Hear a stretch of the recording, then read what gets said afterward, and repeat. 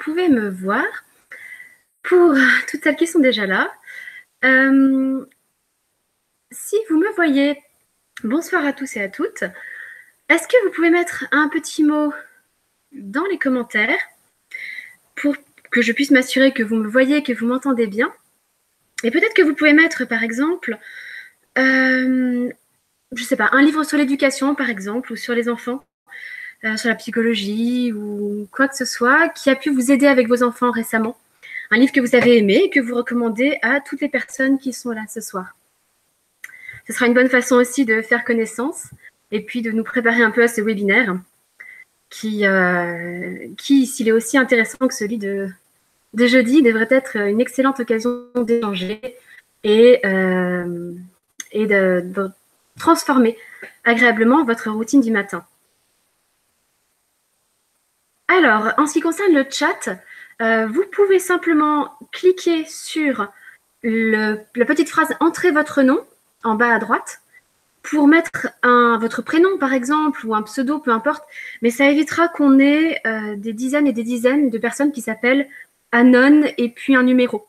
Parce que ça veut dire anonyme, en fait. Et ça risque d'être très perturbant au bout d'un moment d'essayer de suivre le contenu du chat si tout le monde, euh, si tout le monde est en anonyme. Parce que tout le monde aura juste un numéro pour se distinguer et ça va être compliqué. Donc, si vous voulez participer au chat, et vous avez tout intérêt à le faire parce que ça va vous permettre de poser toutes sortes de questions au fur et à mesure de la soirée. Cliquez sur Entrer votre nom. Et puis, euh, à ce moment-là, vous avez, euh, vous pouvez, dans la rubrique Anon, normalement, vous pouvez taper un prénom. Voilà, voyez si vous, si vous réussissez à le faire. Et si vous me voyez bien, que vous m'entendez bien, est-ce que vous pouvez indiquer dans le chat un livre sur l'éducation ou sur la psychologie des enfants qui vous a aidé, qui vous a plu et que vous recommanderiez à toutes les autres participantes? Voilà, ce sera donc l'occasion d'échanger un peu ce soir.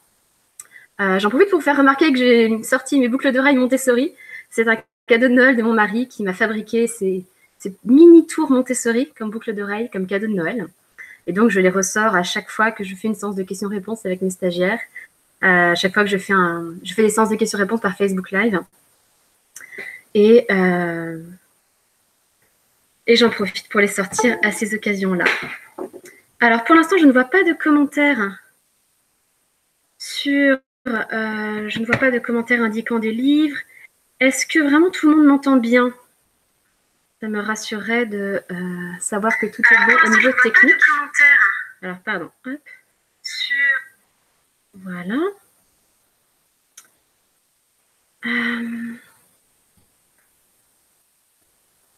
Je vérifie, mais non, pour l'instant, je ne vois rien. Donc, est-ce que euh, certains d'entre vous pourraient taper quelque chose dans le chat euh, pour m'assurer que, euh, que tout va bien, puisque je vois que, vous êtes déjà plusieurs à visionner ce webinaire, cette conférence en ligne, et ce serait un bon départ. Sinon, je vous invite à prendre, si vous avez pu le faire, votre livret d'accompagnement. Voilà, j'espère que vous avez eu le temps de l'imprimer et puis de remplir la première page qui s'appelle Point de départ avec votre routine du matin actuelle. Donc, repensez simplement à ce qui s'est passé ce matin, par exemple. Euh, notez les, étapes de votre routine du matin, à quelle heure vous vous êtes levé, à quelle heure les enfants se sont levés et comment s'est déroulée la matinée jusqu'au départ de chacun et de chacune. Alors, apparemment, on entend bien. Parfait. Euh, si vous voulez, euh, vous pouvez aussi indiquer d'où vous venez, d'où vous nous regardez. Voilà, est-ce que vous attendez de ce webinaire ce soir? Quelles sont vos difficultés principales? Et puis, je vais pouvoir bientôt commencer la présentation. Simplement, donc pour vous expliquer, il y a déjà eu un webinaire jeudi soir, jeudi dernier, euh, alors, il y a eu quelques soucis techniques au départ parce que c'était le premier webinaire que je faisais. Et comme à chaque fois, on a beau tester les choses, il y a toujours des, soucis techniques. Ça arrive. Donc, j'avais décidé de le refaire ce soir euh, parce que le webinaire a fini très tard la dernière fois. Il a duré plus de deux heures. Euh, je pense que ce sera beaucoup plus court ce soir, rassurez-vous, mais on a beaucoup échangé. il y avait certaines de mes stagiaires qui étaient là aussi. Et donc, voilà, la conversation était très dynamique. Et, et je sais que un certain nombre de personnes n'ont pas pu rester jusqu'au bout euh, ou alors n'étaient pas disponibles à la date de jeudi. Ah, et alors je, vois que quelqu'un recommande le livre Cool Parents euh, Make Happy Kids. Euh, leur blog aussi est intéressant, ils proposent toutes sortes d'idées d'activités. C'est assez sympathique. Bonsoir, donc bonsoir à toutes. Eh bien, nous allons pouvoir commencer. Je vais vous partager mon écran. Alors, voilà, pour vous montrer cette présentation.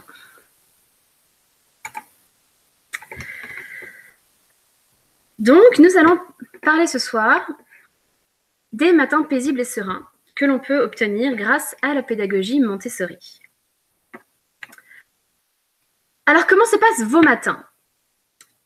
J'ai récolté un certain nombre de témoignages à travers ma liste de diffusion sur Facebook. Et voici les témoignages que l'on m'a donnés.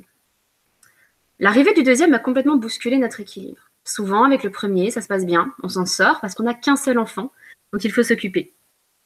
En revanche, dès qu'arrive un deuxième enfant ou plus, tout est perturbé et les choses sont beaucoup plus complexes. J'entends souvent mon conjoint dire à notre fils Dépêche-toi, et je déteste cette phrase. Dur de réussir à rester zen tout en stimulant pour que les choses avancent sans prendre de retard. Très stressant les matins. J'angoisse pour ma reprise du travail. Là aussi, souvent le congé maternité se passe bien, voire le congé parental. Mais on sait très bien que lorsque le travail va reprendre, on aura des horaires différents et beaucoup plus compliqués à tenir. C'est la course. Alors qui suis-je pour me permettre de vous donner des conseils? Et quelles sont mes qualifications dans la pédagogie Montessori? Eh bien, avant tout, je suis une petite Montessorienne, c'est-à-dire que toute petite, à l'école maternelle et à l'école primaire, j'étais dans des classes d'inspiration Montessori.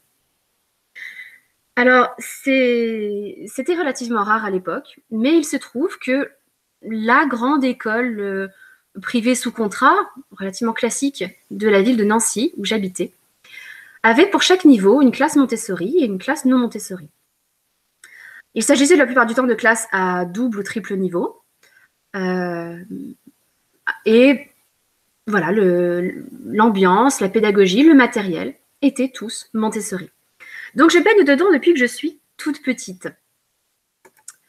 Et puis, je suis maman, maman de François, Elisabeth, Stanislas et Aliénor qui a un peu grandi depuis cette photo maintenant. Donc de quatre enfants, et je pratique l'instruction en famille avec ces quatre enfants. L'instruction en famille, c'est l'école à la maison. Et on applique cette instruction en famille, cette école à la maison, avec la pédagogie Montessori. Donc c'est un peu ma spécialité d'appliquer cette pédagogie Montessori à la maison. Et pour faire l'école à la maison à mes enfants, je me suis formée. Je suis donc éducatrice Montessori pour les enfants de 3 à 6 ans et de 6 à 12. Et vous voyez là des photos prises durant mes formations. Alors ici, c'est en histoire, le travail sur la chronologie, le travail sur la division en calcul, les fractions, la géographie avec des modelages en argile. Là, vous voyez une falaise au bord de l'océan. Le travail de musique avec les clochettes musicales Montessori. Le travail de botanique. Là, vous voyez euh, la façon de distinguer les racines, de classer les racines. Donc, je me suis beaucoup formée à la pédagogie Montessori et je ne cesse de me former parce qu'on n'a jamais fini d'apprendre, tout simplement. Et aujourd'hui, je suis formatrice Montessori et je propose des formations en ligne à des dizaines de stagiaires de tous horizons. À des mamans qui sont déjà formées, d'autres qui découvrent complètement la pédagogie, à des mamans qui font l'école à la maison, d'autres pas du tout, euh, certaines qui pratiquent la pédagogie Montessori avec leurs enfants après l'école, d'autres qui le font en attendant que leur enfant rentre à l'école parce qu'il est un peu petit, et d'autres encore euh, dont l'enfant euh, est encore gardé à la maison, à la crèche ou avec une nounou. Bref, toutes sortes de configurations familiales. Bonsoir Sandy, j'en profite pour souhaiter la bienvenue à toutes celles qui nous rejoignent. Et donc, on va continuer un petit peu. Je vais vous présenter le déroulé de ce soir. On va commencer par faire le point sur votre routine actuelle et par y réfléchir un peu. Et ensuite, je voudrais vous introduire un changement d'attitude qui va être fondamental pour révolutionner votre routine du matin. Je vais vous expliquer le processus Montessori qui va vous permettre de faire face à toutes sortes de situations dans votre vie quotidienne. Et c'est réellement le processus qui a été au cœur de la création de la pédagogie par Maria Montessori. Celui qu'elle a appliqué pendant 50 ans euh, pour aboutir à une pédagogie complète, cohérente et parfaitement adaptée au développement de l'enfant. Ensuite, je vous donnerai des astuces concrètes pour aider vos enfants à s'habiller, à prendre leur petit déjeuner et à se préparer à partir. Donc les trois grosses difficultés, euh, d'après les témoignages que j'ai pu recueillir, euh, les trois principales difficultés auxquelles nous faisons toutes face. Ensuite, nous parlerons de la gestion du temps et on pourra approfondir un petit peu avec une surprise à la fin de ce webinaire. Je vous réserve une offre un peu spéciale. Euh, je vous annonce tout de suite que je rouvre les inscriptions à mes formations Montessori. Et euh, si vous souhaitez profiter de cette offre spéciale que je vous réserve, je vous invite à rester jusqu'à la fin, euh, car c'est la première fois que je propose cela. Et je ne sais pas si je le, reproposerai un jour, et cette offre n'est valable que ce soir. Alors, je vous invite, comme je le disais tout à l'heure, à prendre votre livret.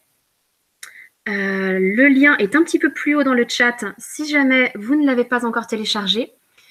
Et vous pouvez l'imprimer ou euh, le compléter euh, comme ça sur un carnet à côté. Donc, peut-être que vous l'avez déjà fait, sinon vous pouvez prendre deux minutes pour le faire maintenant et noter toutes les étapes de votre routine actuelle du matin. En notant à chaque fois combien de temps vous prenez, vous-même pour vous préparer, pour prendre votre petit déjeuner, euh, l'heure à laquelle se lèvent vos enfants et le temps qu'il leur faut pour s'habiller ou alors pour que vous les habillez. Et notez la réalité, c'est-à-dire ne notez pas votre emploi du temps idéal, euh, notez la réalité. Ne notez pas l'heure à laquelle votre réveil sonne, mais l'heure à laquelle vous vous levez vraiment. Et ne notez pas l'heure à laquelle vous êtes censé partir, mais l'heure à laquelle vous partez réellement. Et puis, essayez de repérer dedans euh, les points qui posent particulièrement problème les obstacles que vous rencontrez le matin, les choses qui euh, rallongent le plus votre routine. Je vais, je vais en profiter euh, pour brancher un autre micro qui, je pense, sera meilleur.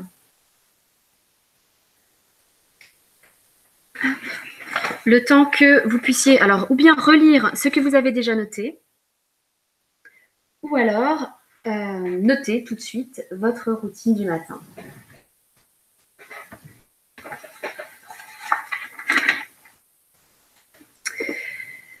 Alors, on a toutes évidemment des contraintes différentes, des horaires différents, des configurations familiales différentes aussi. Mais vous allez voir que le processus que je vais vous proposer peut s'adapter à tout puisqu'il n'y a pas une solution unique, ça va être à vous de redéfinir votre routine du matin en fonction uniquement de vos contraintes. Alors bonsoir à toutes celles qui nous rejoignent. Je vous invite, si vous le pouvez, à cliquer euh, en bas à droite du chat sur Entrez votre nom.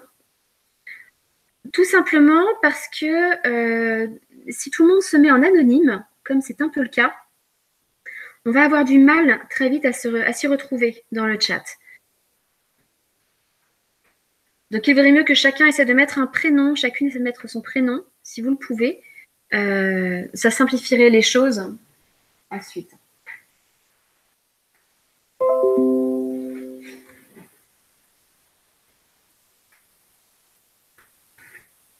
Alors, j'ai changé de micro.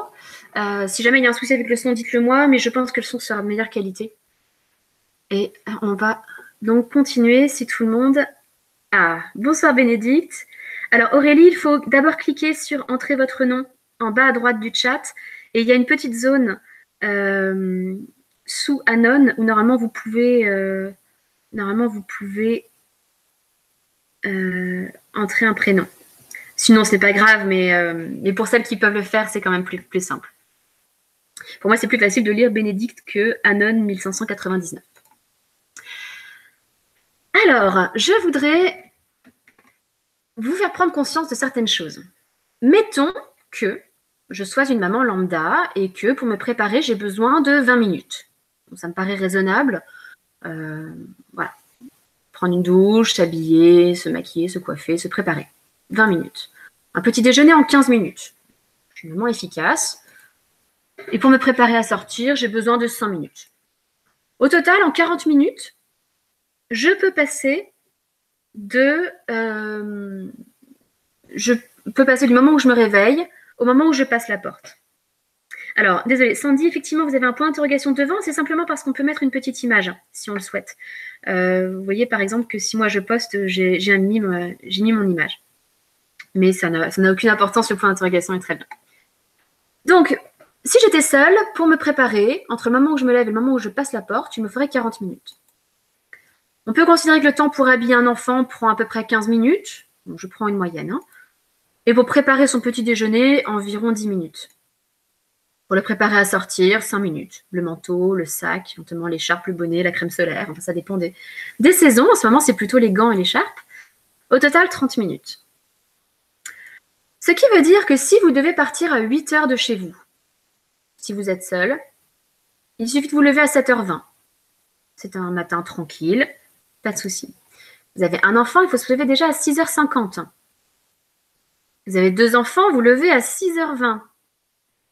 Et si vous avez comme moi quatre enfants, vous devez vous lever à 5h20. Si vous vous occupez intégralement des enfants, si c'est vous qui les habillez, si c'est vous qui préparez leur petit déjeuner, si vous les préparez à partir, c'est cela que ça veut dire. C'est que vous allez devoir vous lever à 5h20 pour que tout le monde soit prêt à 8h. Et je pense que c'est l'explication principale au fait que euh, plus on a d'enfants, plus on arrive en retard, et euh, plus les matins sont difficiles. C'est tout simplement qu'on sous-estime le temps qui est nécessaire euh, pour habiller les enfants, pour préparer leur petit déjeuner, etc., si nous nous en chargeons intégralement. Mon objectif ce soir, ça va être de vous encourager à développer l'autonomie et l'indépendance de vos enfants pour pouvoir passer des moments de qualité avec eux, plutôt que de passer des moments précipités euh, où vous ferez uniquement des tâches répétitives, inintéressantes avec eux, alors que vous pourriez jouer et partager des moments bien plus précieux. Encore une fois, voici quelques témoignages que j'ai récoltés. On a des difficultés à se lever car les nuits sont en ce moment un peu courtes et hachées. Qui n'a pas connu ça en tant que maman? Par exemple, cette nuit, j'ai été réveillée deux fois par mon fils, une fois par le bébé, une fois par la respiration de mon mari que je prenais pour un pleur du bébé, et une dernière fois par mon fils. Mais cette fois, c'est mon mari qui s'est levé. Ça fait quand même cinq réveils dans la nuit. Donc, vous imaginez bien qu'après cinq réveils, on n'a pas envie de se lever aux aurores et de se précipiter pour partir en rush avec euh, des enfants à peine habillés et dont le petit déjeuner a été abrégé. On a envie que les choses se passent mieux. Et on n'a pas envie de se lever pour ça une heure plus tôt le matin. Je ne suis pas du tout du matin, donc décaler tout le rythme de la journée pour qu'on se couche et qu'on se lève plus tôt, je ne sais pas si ça me conviendrait. Ce serait vraiment un gros effort à faire. C'est le témoignage euh, d'une autre personne qui euh, est sur ma liste de diffusion. Tout le monde n'est pas du matin et il est difficile de changer intégralement de rythme. Tout ça pour que ça se passe mieux. Alors oui, 5h20, ça pique. C'est exactement ça. Bonsoir Shirley, je suis ravie que vous nous rejoigniez. vous voyez, ça fait plaisir parce qu'en plus, du coup, je reconnais aussi des prénoms ou des, noms familiers, donc ça fait plaisir de, vous voir. Alors, non seulement c'est une contrainte pour nous de euh, nous charger intégralement de toute la préparation des enfants, mais en plus, les enfants ne réclament qu'une chose, c'est de faire comme les grands et de devenir plus indépendants. Alors, je voudrais vous montrer une petite vidéo qui montre justement que les enfants préfèrent en fait les objets de la vie quotidienne. Ils n'ont qu'une envie, c'est de nous imiter plutôt que de jouer avec des jeux qui sont faits normalement pour eux.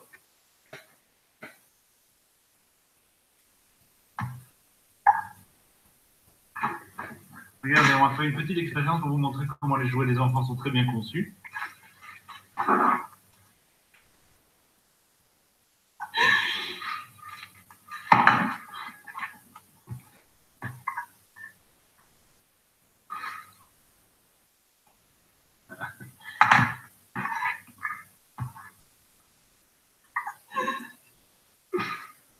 Vous voyez, même si l'enfant peut être attiré au départ par un jouet, il en revient tout de suite à l'objet du quotidien qu'il voit ses parents utiliser. Et c'est ça qui l'intéresse, plus que les peluches, les hochets, les jouets, etc.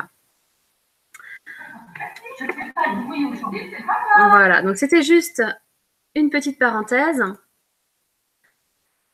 Ça répond à un réel besoin des enfants. On ne cherche pas à les, à les pousser, à les faire grandir trop vite, à les priver de jouer. Au contraire, tout ce qu'on fait, c'est répondre à leur envie profonde. Bonsoir Daniel, hein, qui nous rejoignait. Alors, je voudrais vous partager quelques citations. Voici une d'Isabelle Filiosa, que vous connaissez peut-être, psychologue spécialisée dans l'éducation bienveillante l'éducation positive. Quand les parents font à sa place, par manque de temps, par impatience, pour se simplifier la vie, on l'a tous fait, ou pire, par mépris pour les capacités de l'enfant, celui-ci n'a pas l'occasion de sentir par lui-même ce dont il est capable. Chantal Delsol, qui est philosophe et membre de l'Académie des sciences morales et politiques, elle est spécialisée dans les questions d'éthique. Priver un individu de l'acte qu'il pourrait accomplir, c'est donc le diminuer. On n'a pas envie de faire ça à ses propres enfants. Et je voudrais également partager avec vous quelques passages de, euh, de deux livres de Maria Montessori. Alors, je vais, euh, je vais stopper le partage deux minutes pour revenir à l'écran. Et donc partager avec vous, alors tout d'abord un petit extrait de la pédagogie scientifique de Maria Montessori, qui est un de ses, euh, un de ses best-sellers, si on peut dire. Parce qu'elle nous décrit une situation dans laquelle justement euh, il faut lutter contre ses instincts pour laisser l'enfant être indépendant. Alors, une autre fois, les enfants s'étaient réunis dans la salle et bavardaient autour d'une cuvette d'eau où flottait quelque chose. Nous avions à l'école un tout petit enfant qui avait à peine deux ans et demi. Tout seul derrière, il essayait de voir lui aussi ce qui se passait. Je l'observais à distance. Il s'était d'abord approché du groupe, puis repoussé par les petites mains des enfants, il comprit qu'il n'arriverait pas à se faire place. Alors il était resté en arrière et regardait autour de lui. Je pris une petite chaise et la lui portai derrière le groupe pour qu'il pût monter dessus. Il s'approcha, le visage illuminé d'espoir, mais à ce moment, la maîtresse le saisit brutalement à bras le corps, oh sans doute gentiment, pensait-elle, et lui fit voir la cuvette. L'élevant au-dessus du groupe, elle lui dit Viens, mon chéri, viens, pauvre petit, regarde donc toi aussi. L'enfant, en apercevant ce qui flottait, n'eut certes pas la joie qu'il aurait éprouvée en vainquant l'obstacle grâce à ses propres forces. Et le spectacle ne lui apporta aucun désavantage qui lui eût apporté son effort intelligent en développant ses forces intérieures. La maîtresse empêcha ainsi l'enfant de s'éduquer lui-même sans rien lui apporter en compensation. Il avait été sur le point de se sentir victorieux et il se retrouva brusquement entre deux bras secourables comme un impotent. Sur son visage s'éteignit cette expression de joie, d'ardeur, d'espérance qui m'avait tant intéressé, et il ne resta que l'expression de l'enfant qui sait bien que d'autres vont agir pour lui je pense qu'on a tous, toutes vu cette expression euh, sur le visage d'un enfant qui voudrait faire tout seul. Et puis on fait à sa place et on le voit s'éteindre, devenir passif et se laisser faire, alors qu'il était plein d'entrain, d'enthousiasme et de passion. Euh, Montessori dit encore Celui qui se fait servir au lieu de se faire aider est en un certain sens lésé de son indépendance. Cette conception est à la base de la dignité humaine. Je ne veux pas être servi parce que je ne suis pas un infirme, mais nous devons nous aider les uns les autres parce que nous sommes des êtres sociables. Voilà la notion qu'il faut acquérir avant de se sentir véritablement libre. La mère qui donne à manger à l'enfant sans faire le moindre effort pour lui enseigner à tenir sa cuillère et à chercher sa bouche, ou qui ne l'invite pas à regarder comme elle mange elle-même, n'est pas une bonne mère. Alors, là, je trouve ça extrêmement culpabilisant il faut aussi remettre les choses dans son contexte. Euh, on n'écrit pas à l'époque comme on écrirait aujourd'hui non plus. Elle offense la dignité humaine de son enfant, elle le traite comme un fantoche, alors que c'est un homme confié à ses soins par la nature. Enseigner à un enfant à manger, à se laver, à s'habiller, c'est un travail bien plus long, bien plus difficile, qui nécessite bien plus de patience que de le nourrir, le laver et l'habiller. Cet enseignement, c'est la tâche de l'éducateur. La substitution, c'est le travail inférieur et facile du serviteur. Et je ne jetterai la pierre à personne. On fait tout ça. On cherche toutes à aider notre enfant et à faire à sa place parce que c'est plus rapide, parce que c'est plus simple, parce qu'on a l'impression que c'est mieux pour lui, qu'on l'aide. Euh, on veut lui éviter tout obstacle, c'est notre rôle de mère. Ça fait partie de nos instincts maternels. Mais il faut essayer euh, de s'en abstraire le plus possible.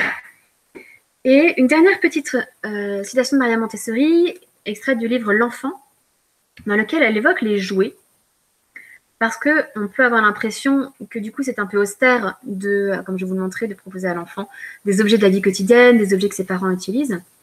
Mais en fait, Maria Montessori, est commencé par introduire des jouets dans ses écoles et dans euh, ce qu'elle appelait la maison des enfants. Mais bien qu'il eût à l'école des jouets vraiment splendides mis à leur disposition, les enfants ne s'en servaient pas. Ça la surprenait. Euh, les enfants s'y intéressaient un instant et puis s'éloignaient et n'en faisaient jamais l'objet de leur choix spontané. Je compris alors que le jouet était sans doute quelque chose d'inférieur dans la vie de l'enfant et qu'il n'y recourait, recourait que faute de mieux. Il y avait quelque chose de plus élevé qui, dans son âme, prévalait sur les futilités. Et elle explique comment euh, nous pouvons aimer faire des jeux, par exemple jouer au bridge ou aux échecs, mais que si on devait passer notre journée à jouer au bridge et aux échecs, on s'en lasserait très vite. Euh, alors que, euh, justement, pour l'enfant, c'est la même chose. Il a des envies, des besoins beaucoup plus profonds, beaucoup plus, beaucoup plus épanouissants. Et nous le cantonnons souvent à des jouets d'imitation, alors qu'il voudrait utiliser de vraies choses. Alors, j'ai juste un petit coup d'œil au chat. Oui, Bénédicte, effectivement. Merci pour les boucles d'oreilles. Je disais au tout début du webinaire que c'était un cadeau de Noël de mon mari qui me les a fabriquées. Et je les ressors à chaque fois que je fais des séances de questions-réponses avec mes stagiaires. Euh, ce sont un peu mes boucles d'oreilles fétiches. Inversement, que ma fille réussit à faire seule quelque chose de compliqué pour la première fois, nous dit Océane, nous devons retenir nos sourires admiratifs car elle a l'air de s'en vexer. Effectivement, pour les enfants, c'est quelque chose de naturel et en fait, ils tirent euh, leur propre fierté, leur propre satisfaction simplement de ce qu'ils accomplissent. Ils n'ont pas forcément besoin de euh, nos sourires admiratifs ou de nos paroles d'appréciation, de nos compliments, etc. Alors, je vais revenir à la présentation pour que l'on puisse continuer. Euh, parce que je voudrais vous proposer un réel changement d'attitude. Alors, ce changement d'attitude, c'est passer de la phrase laisse, je vais faire, lorsqu'on veut faire à la place de l'enfant, et que l'on adopte la devise montessorienne aide-moi à faire seul. C'est ce que nos enfants nous réclament, c'est ce dont ils ont profondément besoin qu'on les aide à faire seuls et non pas que l'on fasse à leur place. Alors j'aimerais que vous relisiez un peu votre routine du matin en réfléchissant à ce changement complet d'attitude.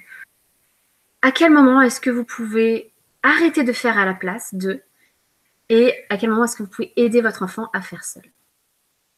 Et nous allons adopter un processus Montessori ce soir que vous allez pouvoir adapter à votre situation et à vos propres contraintes.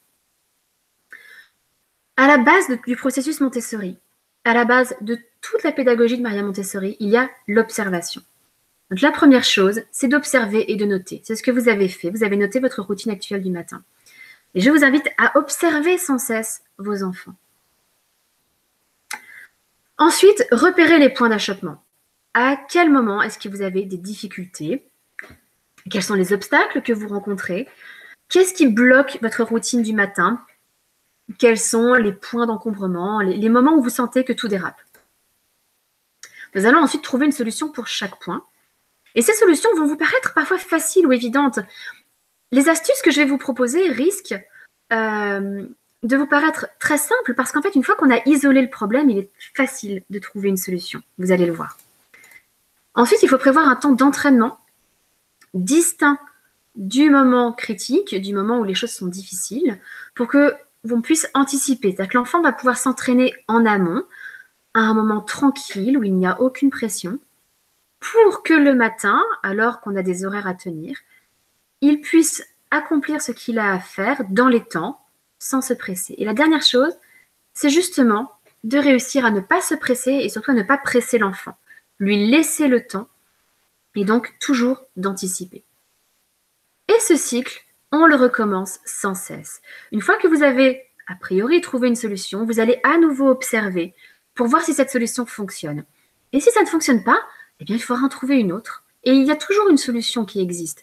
Vous allez pouvoir adapter les choses pour que tout fonctionne. Maria Montessori a suivi ce processus pendant, je vous le disais, 50 ans. Elle n'a jamais cessé d'observer, de se remettre en question, euh, d'adapter les choses, d'avoir de, nouvelles idées et de modifier ce qu'elle proposait aux enfants pour que cela réponde davantage à leurs besoins profonds. Alors, j'ai maintenant vous proposer quelques astuces pour répondre à des difficultés précises le matin. Parmi les plus grosses difficultés, il y a le fait que nos enfants doivent s'habiller. Alors, réfléchissez un peu à vos difficultés. Vous pouvez les mettre dans le chat. Euh, quelles sont vos plus grosses difficultés au niveau de l'habillement de vos enfants le matin? Et je vais vous proposer quelques astuces, quelques réponses. Euh, est-ce vous qui habillez vos enfants? Est-ce que ça dépend de l'âge? Est-ce qu'il y a euh, des vêtements qui sont plus difficiles que d'autres à enfiler? Quelles, sont, quelles sont vos difficultés au niveau de l'habillement Alors, Sandy laisse toujours les enfants essayer. Elle leur dit qu'elle est à côté s'ils ressentent le besoin d'être aidés. Et si vraiment on manque de temps, ou bien si je sens que l'enfant s'agace de ne pas réussir, j'interviens. Alors c'est bien de trouver la patience justement de, de les laisser essayer, de les laisser essayer de faire seuls. Et puis bon, bien évidemment, il faut quand même euh, être réaliste et pragmatique. Euh, s'il faut partir, il faut partir. Donc il faut bien intervenir. N'hésitez pas à, mettre vos problèmes, mais je pourrais vous répondre à vos questions, euh, vous proposer éventuellement des solutions. Et puis, de toute façon, euh, je prendrai des questions à la toute fin du webinaire.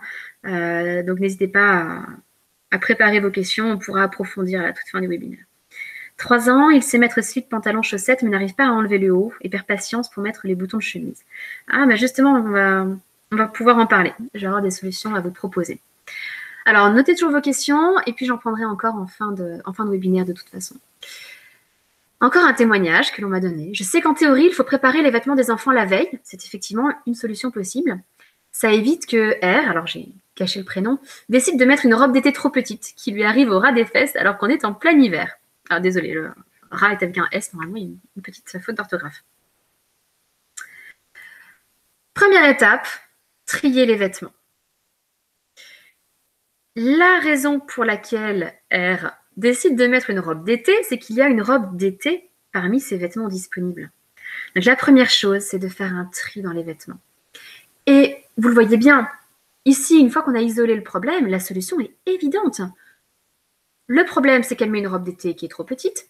La solution, c'est de supprimer du placard tout ce qui ne convient pas. Il faut trier en fonction de la saison et en fonction de la taille. Euh, vous n'allez laisser accessible à l'enfant que les vêtements du quotidien qu'il peut mettre pour aller à l'école, par exemple, pour aller à la crèche, pour sortir, peu importe, ces vêtements du quotidien. Tout ce qui n'est pas de saison, tout ce qui est trop petit, tout ce qui est trop grand, doit aller ailleurs. Alors ça peut être en hauteur dans le même placard, mais pas accessible à l'enfant. La deuxième étape, justement, c'est qu'il faut rendre tous ces vêtements accessibles à votre enfant. Comment? Alors là, je vous propose un certain nombre de solutions. J'ai réalisé pour vous j'ai compilé un petit tableau sur Pinterest pour aménager sa maison Montessori. Euh, je vais euh, je vais vous mettre le lien dans le chat pour que ça vous intéresse, vous puissiez retrouver l'adresse plus tard.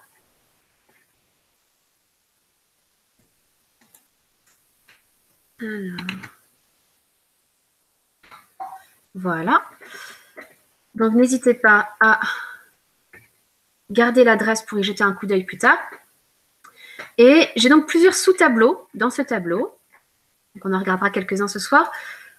Et voici un tableau, par exemple, pour le rangement des vêtements d'enfants. Et vous avez toutes sortes d'idées. Alors, ce sont des idées de Pinterest. Les choses ont l'air parfaites. Euh, je vous conseille surtout de prendre l'idée et d'appliquer ça chez vous autant que possible sans chercher à, euh, avoir une chambre parfaite et euh, digne d'Instagram ou de Pinterest. Alors, parmi les solutions que je vous propose, il y a celle-ci, ça peut être d'avoir des bacs pour vos enfants et puis de ranger les t-shirts euh, comme ceci, en vertical. Alors, si vous connaissez Marie Kondo, par exemple, c'est l'une des méthodes qu'elle préconise. elle a un livre sur le rangement. Mais de manière générale, si vous vous intéressez un peu au système d'organisation, de rangement, etc., c'est un système qui est recommandé par tous les organisateurs professionnels. Ça existe. Et pour les enfants, c'est pratique parce qu'ils peuvent voir tout ce qu'ils ont, comme ici, et prendre uniquement le vêtement qui les intéresse sans mettre du bazar partout et sans ravager une pile euh, qui serait trop compliquée pour eux ranger derrière. Vous pouvez aussi installer une petite tringle assez basse pour que l'enfant puisse prendre les vêtements et les ranger sur des cintres ou combiner, avoir des bacs et des tringles. Et vous pouvez avoir, comme ici par exemple, une tringle accessible avec les vêtements de saison qui sont à la bonne taille et un peu plus haut, des vêtements euh, qui ne sont plus de saison ou qui ne sont plus à la bonne taille.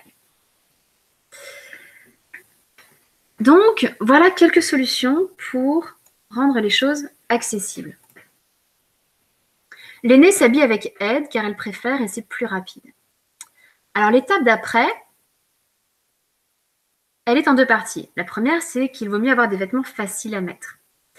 C'est un peu le problème aujourd'hui, c'est que par souci d'esthétique, euh, dans les vêtements, dans les magasins aujourd'hui, on ne trouve que des vêtements qui en fait sont très mal faits pour les enfants. Par exemple, on trouve des pantalons skinny ou slim euh, pour garçons comme pour filles qui sont vraiment difficiles à mettre, alors qu'un pantalon un petit peu plus large avec une ceinture élastique leur changerait la vie. Les boutons de pantalon sont également très difficiles. Enfin, vraiment, on fait tout ce qu'on peut pour que les enfants ne puissent plus s'habiller tout seuls. Alors, essayez de trouver des vêtements faciles à mettre, confortables. Euh, en plus, honnêtement, un pantalon euh, slim ou skinny, ce n'est pas pratique pour des enfants qui marchent beaucoup. Et puis surtout, prévoyez un temps d'entraînement, non pas le matin au dernier moment, mais par exemple le week-end ou le soir. Laissez votre enfant s'entraîner à s'habiller, se déshabiller. Prenez un temps avec lui pour qu'il puisse enfiler un pull ou mettre un pantalon autant de fois qu'il le veut jusqu'à ce qu'il maîtrise le geste. Alors, je vois quelques réflexions, euh, quelques remarques. Euh. alors, bienvenue Val. Euh, Shirley, mon moment n'est pas le leur. c'est sûr. mais justement, l'intérêt de, s'entraîner en dehors des, des, moments difficiles du matin, ça va vous simplifier la vie. Euh, Shirley, est-ce que c'est vraiment gênant que ce soit moi qui prépare leur tenue, tant qu'ils n'y voient pas d'inconvénient? Eh bien, si eux peuvent choisir leur tenue, les choses vont aller beaucoup plus vite. Parce qu'ils vont avoir euh, un sentiment de pouvoir, ils vont euh, se sentir responsables de leur propre tenue, et ça va davantage les inciter à s'habiller ensuite tout seuls. Alors, si le choix est difficile, s'ils passent beaucoup de temps à choisir, vous pouvez leur demander à eux de choisir leurs vêtements la veille, ou alors leur proposer deux tenues le matin et euh, les laisser choisir entre les tenues. Vous pouvez aussi constituer des tenues toutes faites sur un cintre et les laisser prendre un cintre sans qu'ils aient à sortir les vêtements. Euh, et vous pouvez également essayer de prévoir comme une petite capsule de vêtements. On en entend beaucoup parler, mais alors plutôt pour les adultes, mais vous pouvez tout à fait le faire pour les enfants. Une capsule de vêtements, c'est un ensemble de vêtements où tout va avec tout. Euh, tous les hauts vont avec tous les bas, tout est naturellement assorti. Généralement, on choisit quelques couleurs neutres et une ou deux couleurs principales euh, de façon à ce que tout s'accorde bien. Ensuite, pour prévoir un temps d'entraînement et que les enfants puissent s'entraîner à s'habiller et se déshabiller, c'est là que la pédagogie Montessori a beaucoup de propositions à faire. Par exemple, ici, le cadre d'entraînement, euh, le cadre d'habillement, avec les nœuds, donc ici le nœud de chaussure, le nœud de rosette, ça fait partie d'une série de cadres d'habillement euh, que l'on peut utiliser dans la pédagogie Montessori. L'intérêt, c'est que ça décontextualise l'apprentissage. C'est-à-dire qu'au lieu d'apprendre sur sa chaussure ou d'apprendre sur sa chemise, l'enfant va le faire sur un autre support. Et alors qu'il a l'habitude d'être un peu pressé, d'être pressé par le temps lorsqu'il doit, par exemple, mettre des boutons, là, avec un cadre d'habillement, le contexte est différent et il sait qu'il peut s'entraîner autant de fois que nécessaire. Le deuxième intérêt, c'est que les choses sont répétées. S'il s'entraîne à faire un nœud de chaussure sur sa chaussure, il va le faire une fois, peut-être deux, le matin. Et puis le soir, il va le défaire deux fois. Avec un cadre spécifique, vous voyez, il va le répéter cinq fois de suite. Et cinq fois de suite, il va faire les mêmes gestes. C'est-à-dire que sur une chaussure, il devrait faire son nœud intégralement, défaire son nœud intégralement, refaire son nœud intégralement, etc. Ici, avec les cinq nœuds, il va répéter cinq fois chaque sous-geste. Par exemple, il va faire cinq fois un nœud simple pour commencer. Et ensuite, cinq fois, il va venir faire juste la partie du nœud de rosette. Et ensuite, cinq fois, il va défaire le nœud. Enfin, généralement, le cadre est plutôt fourni euh, à l'enfant, proposé à l'enfant comme ceci. Donc, il va commencer par défaire et ensuite refaire. Mais vous avez compris la logique. Chaque geste va être décomposé et il va répéter chacun des sous-gestes. Euh, et justement, dans, la formation à la vie pratique Montessori que je propose, euh, je fournis justement un tutoriel pour pouvoir même fabriquer ces cadres à la maison pour un coût minime et même pour les gens qui, comme moi, sont absolument nuls en couture, c'est parfaitement faisable. Et vous voyez ici donc un extrait justement de ma formation, le tableau de progression que je propose à mes stagiaires à la vie pratique. Et vous pouvez voir qu'il y a toutes sortes de propositions pour aider l'enfant à s'habiller et se déshabiller tout seul. Dans la vie pratique Montessori, il va apprendre à utiliser les cadres avec les fermetures éclairs, comme ici en bas à gauche, euh, le cadre de la fermeture de pantalon, le cadre avec les gros boutons, les petits boutons, avec des boutonnières verticales ou horizontales, parce que le geste n'est pas le même. La fermeture de veste, qui est plus difficile que la fermeture de pantalon, parce qu'il faut accrocher la fermeture éclair en bas avant de pouvoir la remonter. Le cadre des nœuds de chaussures.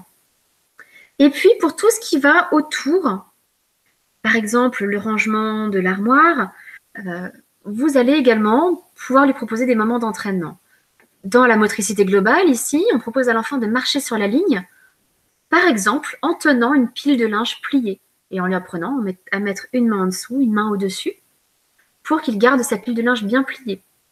Par ailleurs, on lui apprend à plier du tissu correctement, ce qui fait qu'après, il peut plier des vêtements avec vous et donc garder son placard ou ses bacs de vêtements bien rangés. Et il va pouvoir vous aider aussi à plier son propre linge et euh, du coup à euh, maintenir l'ordre dans sa propre chambre. Et là, encore une fois, il va se sentir responsabilisé, indépendant, compétent, et c'est une immense fierté pour les enfants. Une autre réflexion, euh, un témoignage que j'ai reçu, ici, c'est l'habillage qui pose problème, ainsi que les soins, brossage des cheveux, brossage des dents. Là aussi, vous pouvez proposer une présentation, un entraînement et puis, il existe euh, toutes sortes de solutions. Donc, je vous en propose euh, d'autres, toujours sur le tableau Pinterest que je vous ai préparé. On peut réaliser une salle de bain Montessori, un coin toilette pour son enfant. Alors, vous avez ici toutes sortes d'exemples. Ça peut être simplement un lavabo posé sur la baignoire, comme ici. Ou ça peut être un petit meuble avec une cuvette dans laquelle on peut verser de l'eau et dans laquelle l'enfant a un miroir à disposition et où il peut se débarbouiller la bouche, se brosser les dents, euh, se coiffer, euh, se laver le visage, se laver les mains. Vous voyez euh, ici, il y a un, petit panier avec un peigne. L'enfant peut se verser de l'eau lui-même, il a son savon. Ici, c'est simplement une chaise qui a été transformée en, mini salle de bain Montessori. Et puis, on peut rajouter le pot en dessous. ici, vous avez un bidet, ce qui est assez pratique pour avoir accès à l'eau. Si vous avez un bidet chez vous, n'hésitez pas à simplement rajouter une chaise par-dessus, par exemple, pour faire comme une étagère. Donc vous avez ici quelques idées, n'hésitez pas à y revenir euh, pour euh, aider votre enfant à être plus autonome aussi au niveau du soin de sa personne. Et c'est important parce que ça montre à l'enfant qu'il est une petite personne, qu'il est précieux et qu'il doit prendre soin de lui-même. merci Sandy euh, pour, votre commentaire sur la formation. Euh, ça, fait, toujours plaisir. Effectivement, il y a plusieurs de mes stagiaires ce soir. Euh, et voilà, ça fait plaisir d'avoir votre témoignage. Ça me, ça me, fait toujours plaisir de pouvoir échanger. Alors, Sandy vous dit, est-ce que c'est gênant Oui, je vais répondre à cette question. Hein, que ce soit gênant que ce soit vous qui prépariez la tenue. Souvent, vous préparez les vêtements la veille et vous réajustez le matin selon la météo pour votre fils de presque 3 ans. Et pour le moment, il ne manifeste pas de désaccord et parfois vous laissez le choix entre deux tenues. Alors, généralement, un enfant ne va jamais manifester de désaccord avec le fait que vous choisissiez ses vêtements. Du moins, pas à cet âge-là, euh, souvent plus tard. Mais si vous essayez de lui laisser le choix, vous allez voir cette étincelle dans ses yeux, celle dont Maria Montessori parlait. Euh, c'est exactement la même chose que la maîtresse qui prend l'enfant dans ses bras pour lui permettre de voir euh, ce qui flotte dans la cuvette elle l'aide, elle lui permet de découvrir quelque chose de nouveau, c'est extrêmement positif. Elle agit avec d'excellentes intentions. Mais pour l'avoir vu euh, à la maison, lorsqu'un enfant réussit par ses propres moyens à dépasser un obstacle, il y a dans ses yeux une lumière et une étincelle qui est absolument unique. Euh, et vous pouvez même tout simplement mettre un tabouret ou mettre, euh, vous savez, il y a des tabourets avec des marches pour que l'enfant puisse arriver au niveau du lavabo des adultes. Euh, c'est déjà un excellent, un excellent moyen tout simple d'aider l'enfant à faire par lui-même, plutôt par exemple que de le soulever pour atteindre le lavabo. Alors, si vous avez encore des questions sur l'habillement, on pourra y revenir à la fin. N'oubliez pas que je vous réserve une petite surprise à la toute fin de ce webinaire.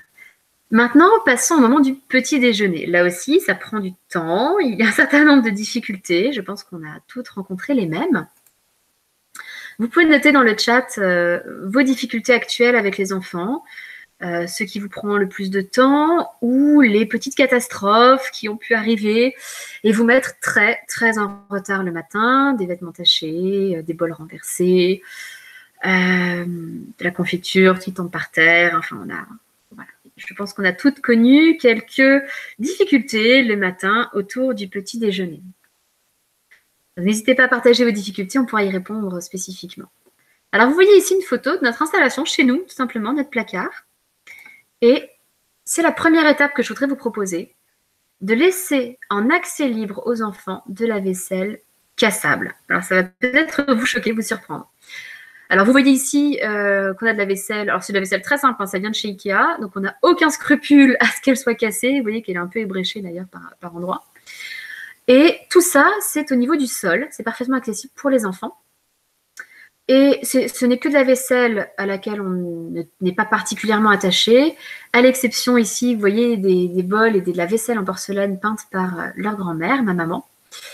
Euh, et euh, donc, c'est leur petit service à eux. Ils ont des tasses, des bols, des assiettes qui leur sont spécifiques et auxquels ils font très attention. Et ce sont les enfants, chez nous, qui mettent le couvert et qui vident le lave-vaisselle. Et on fait exprès de leur laisser de la vaisselle cassable, ce qui peut vous surprendre, voire vous choquer. Mais ça force euh, les enfants à se responsabiliser. Parce que s'ils font tomber une assiette en plastique, il n'y a aucune conséquence. Alors que s'ils font tomber une assiette euh, cassable, eh bien, il faut ramasser les morceaux et l'assiette est cassée, elle est perdue. Donc, ça les incite à faire plus attention.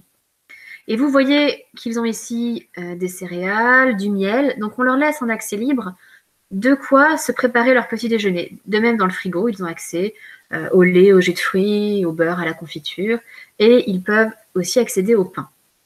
Donc, ils peuvent choisir le matin leur petit déjeuner et le préparer eux-mêmes.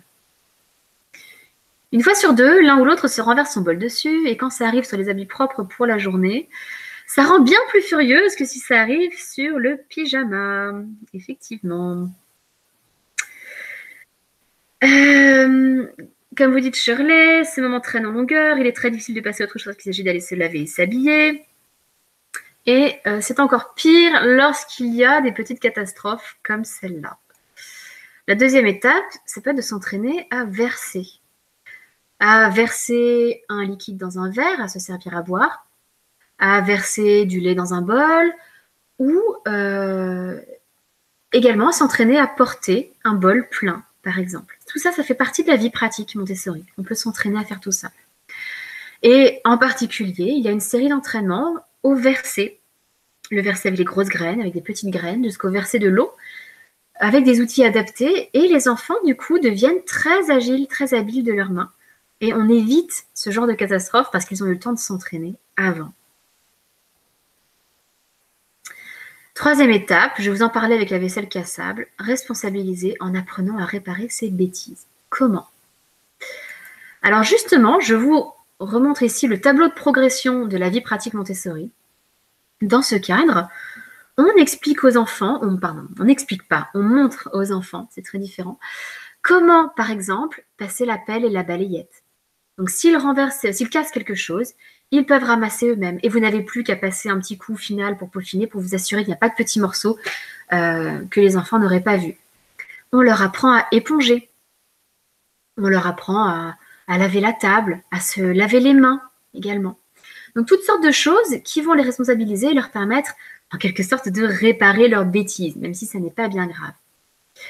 Alors à ce sujet, je voudrais vous montrer un petit extrait, pardon, un petit extrait de ma formation. Euh, pour que vous puissiez voir comment ça se passe justement et comment un tout petit peut très bien apprendre, par exemple, à éponger.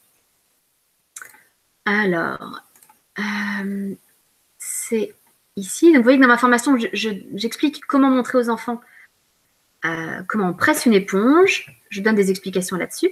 Et j'ai une vidéo un peu particulière qui est une présentation que j'ai faite à mon troisième enfant lorsqu'il avait deux ans et quatre mois. Donc ça commence à remonter un peu, mais euh, pour vous montrer une présentation vraiment en conditions réelles. Vous allez voir un peu comment ça se passe. Euh, j'étais enceinte à l'époque. Hein. Oh, de l'eau. Et vous voyez, éponge. On peut très bien montrer à un enfant de cet âge-là comment éponger. Regarde. Alors, vous voyez vraiment les choses en conditions réelles avec Stanislas qui veut intervenir, qui veut participer et comment on peut réagir. Et puis ensuite, plus tard, lui-même a appris à éponger. Et c'était bien la première fois que je lui présentais ce matériel. C'était une, une présentation réelle. Et vous voyez donc comment il fait, très soigneusement. Et bien sûr, il en renverse partout, c'est normal. Mais il apprend justement à éponger on appelle ça le contrôle de l'erreur. Il repère lui-même où est le problème et il répare. Et ça l'autonomise au quotidien. Ça le responsabilise. Alors, je reviens à euh, notre formation, à notre webinaire. Et parmi les prolongements que vous pouvez faire avec vos enfants, vous pouvez très bien leur apprendre, par exemple, à utiliser des couteaux. Alors là aussi, je vais peut-être vous choquer, mais personnellement, je préfère confier à mes enfants des couteaux bien aiguisés, qui coupent bien, et à leur, apprendre à s'en servir. Alors évidemment, ça implique d'apprendre certaines règles de sécurité et à ne jamais les laisser faire sans surveillance, bien évidemment. Parmi les règles de sécurité, il y a le fait qu'un enfant ne doit jamais quitter des yeux le couteau qu'il utilise. Donc là, vous voyez que Stanislas ne le fait pas, il ne regarde pas le couteau qu'il est en train d'utiliser, donc il ne maîtrise pas encore les règles de sécurité. C'était parmi les premières fois où il utilisait un couteau. Euh, c'est un couteau de fils, c'est un vrai couteau de chef, qui coupe très bien. Une autre solution, ça peut consister à faire un tunnel avec sa main et à couper en dessous du tunnel, par exemple. Et là, il n'y a aucun risque. L'enfant ne risque pas de se couper. Alors, pourquoi je préfère que mes enfants utilisent des couteaux bien aiguisés? C'est tout simplement parce qu'alors le geste est très fluide, très simple. Ils n'ont pas à forcer, à appuyer fort, parce que c'est là que le couteau dérape et qu'il y a des accidents. Et ça, c'est terrible. Donc je préfère confier un vrai couteau à mes enfants qu'un couteau à bourron qui ne couperait rien. En revanche, euh, ne les laissez pas faire ça seuls, tout petits. Euh, assurez-vous qu'ils maîtrisent des règles de sécurité avant de les laisser faire seuls. Alors, si vous avez des questions sur euh, le petit déjeuner, n'hésitez pas. Effectivement, Jeanne-Laure, il y a de vrais petits trésors chez Emmaüs. On peut trouver d'excellentes choses pour, pour aménager des coins pour ses enfants. c'est vraiment une mine d'or, Emmaüs. Alors passons maintenant au moment un peu fatidique où il faut se préparer à partir. Alors, la première étape que je recommande, c'est de tout laisser apporter et de bien penser à ranger tout de suite en rentrant. C'est-à-dire qu'on rentre chez soi, on enlève ses chaussures, on les range tout de suite. On enlève son manteau, on le range tout de suite. Et tout est toujours au même endroit. Ça évite au dernier moment de chercher désespérément une chaussure qui manque, de courir après un manteau, une écharpe, un bonnet, etc. Alors, vous voyez ici notre installation qui est toute simple à la maison. C'est un bête porte-manteau, euh, je crois qu'il vient de chez Ikea. Et vous avez nos manteaux d'adultes, à mon mari et à moi, en haut, avec nos sacs à nous et les manteaux des enfants avec les sacs d'activité des enfants en bas. Et tout est à leur portée. Et ils ont pris l'habitude en rentrant de venir accrocher leurs manteaux. Et leurs sacs d'activité sont toujours là. La deuxième étape qui peut vraiment accélérer vos matinées, c'est d'aider votre enfant à différencier la gauche et la droite sur les chaussures. Et alors, c'est là que vous avez trouvé la réponse euh, à la petite énigme que je vous posais par mail euh, aujourd'hui. C'est comment est-ce qu'un autocollant et une paire de ciseaux vont vous aider à accélérer votre routine du matin? Alors, je vais passer à la troisième étape et puis vous montrer ensuite sur le tableau Pinterest comment vous allez pouvoir faire tout ça. La troisième étape, ça va être d'apprendre à mettre son manteau. Alors, euh, pardon, je vais d'abord vous montrer ce qu'il en est sur Pinterest. Donc, pour ranger les choses à portée de vos enfants, vous pouvez vous inspirer de ces idées-là. Il y en a de toutes sortes. On peut simplement mettre des crochets, installer des petits paniers avec euh, les gants, les bonnets, les écharpes, les lunettes de soleil. On peut prévoir un petit banc comme ici. C'est pratique pour que les enfants puissent s'installer euh, pour mettre leurs chaussures et leurs chaussettes même. C'est plus facile d'être assis pour le faire. Euh, ici, vous avez des petits paniers, les chaussures, des paniers ici. Et puis là aussi, un endroit où les enfants peuvent s'asseoir. Ici, chacun a son compartiment avec ses chaussures, son sac, son manteau. Voilà, donc vous avez toutes sortes de belles idées. Euh, mais là encore, faites au plus simple, même s'il s'agit juste de poser un crochet sur le mur. Et vous voyez, chez nous, c'est un simple porte-manteau avec deux étages. Euh, on, a également pour les chaussures un petit meuble à chaussures accessible aux enfants. Eh bien, ça simplifie considérablement les choses. Ensuite, pour différencier chaussure gauche et chaussure droite, comment faire? Eh bien, vous pouvez couper un autocollant en deux, comme vous le voyez ici, et en coller la moitié dans chaque chaussure. Du coup, votre enfant n'a plus qu'à poser ses chaussures de façon à reconstituer l'autocollant pour avoir les chaussures bien placées et mettre la chaussure gauche sur le pied gauche, la chaussure droite sur le pied droit. Évidemment, on peut le faire avec toutes sortes d'autocollants. Vous avez un pirate, un zèbre, un cœur. Euh, et ici, je ne sais même plus ce que ça représente. Mais donc, c'est un système extrêmement simple pour aider vos enfants à distinguer la gauche de la droite. Vous pouvez aussi mettre un petit autocollant, par exemple un petit personnage, sur euh, la partie extérieure des chaussures, là où elles se touchent, de façon à ce que euh, les deux personnages se fassent un bisou. Et vous dites à l'enfant, il faut qu'il se fasse un bisou. Donc l'enfant doit rapprocher les chaussures dans le bon sens, avec la chaussure gauche à gauche, la chaussure droite à droite. Il y a également sur des sites euh, comme Akies, qui vend des étiquettes, euh, des étiquettes thermocollantes pour les vêtements. Vous trouvez aussi des autocollants pour les chaussures. Euh, et vous avez un autocollant gauche qui représente un pied gauche, un, autocollant droit pardon, qui représente un pied droit, etc. Donc c'est très facile pour l'enfant de se repérer. Et je voudrais, alors, je vous ai mis aussi un petit tableau pour s'habiller tout seul, par exemple pour mettre son manteau, euh, avec la technique du papillon que je vais vous montrer tout de suite. Et ici une vidéo intéressante d'une maman qui montre les gestes qu'elle fait pour aider son enfant à s'habiller tout seul, lui montrer comment mettre l'étiquette du t-shirt dans le dos et euh, voilà, dans quel ordre faire les gestes pour que ce soit le plus simple possible pour lui. Et donc je vais vous montrer en fait cette vidéo, mettre son manteau, que vous pourrez également trouver sur YouTube.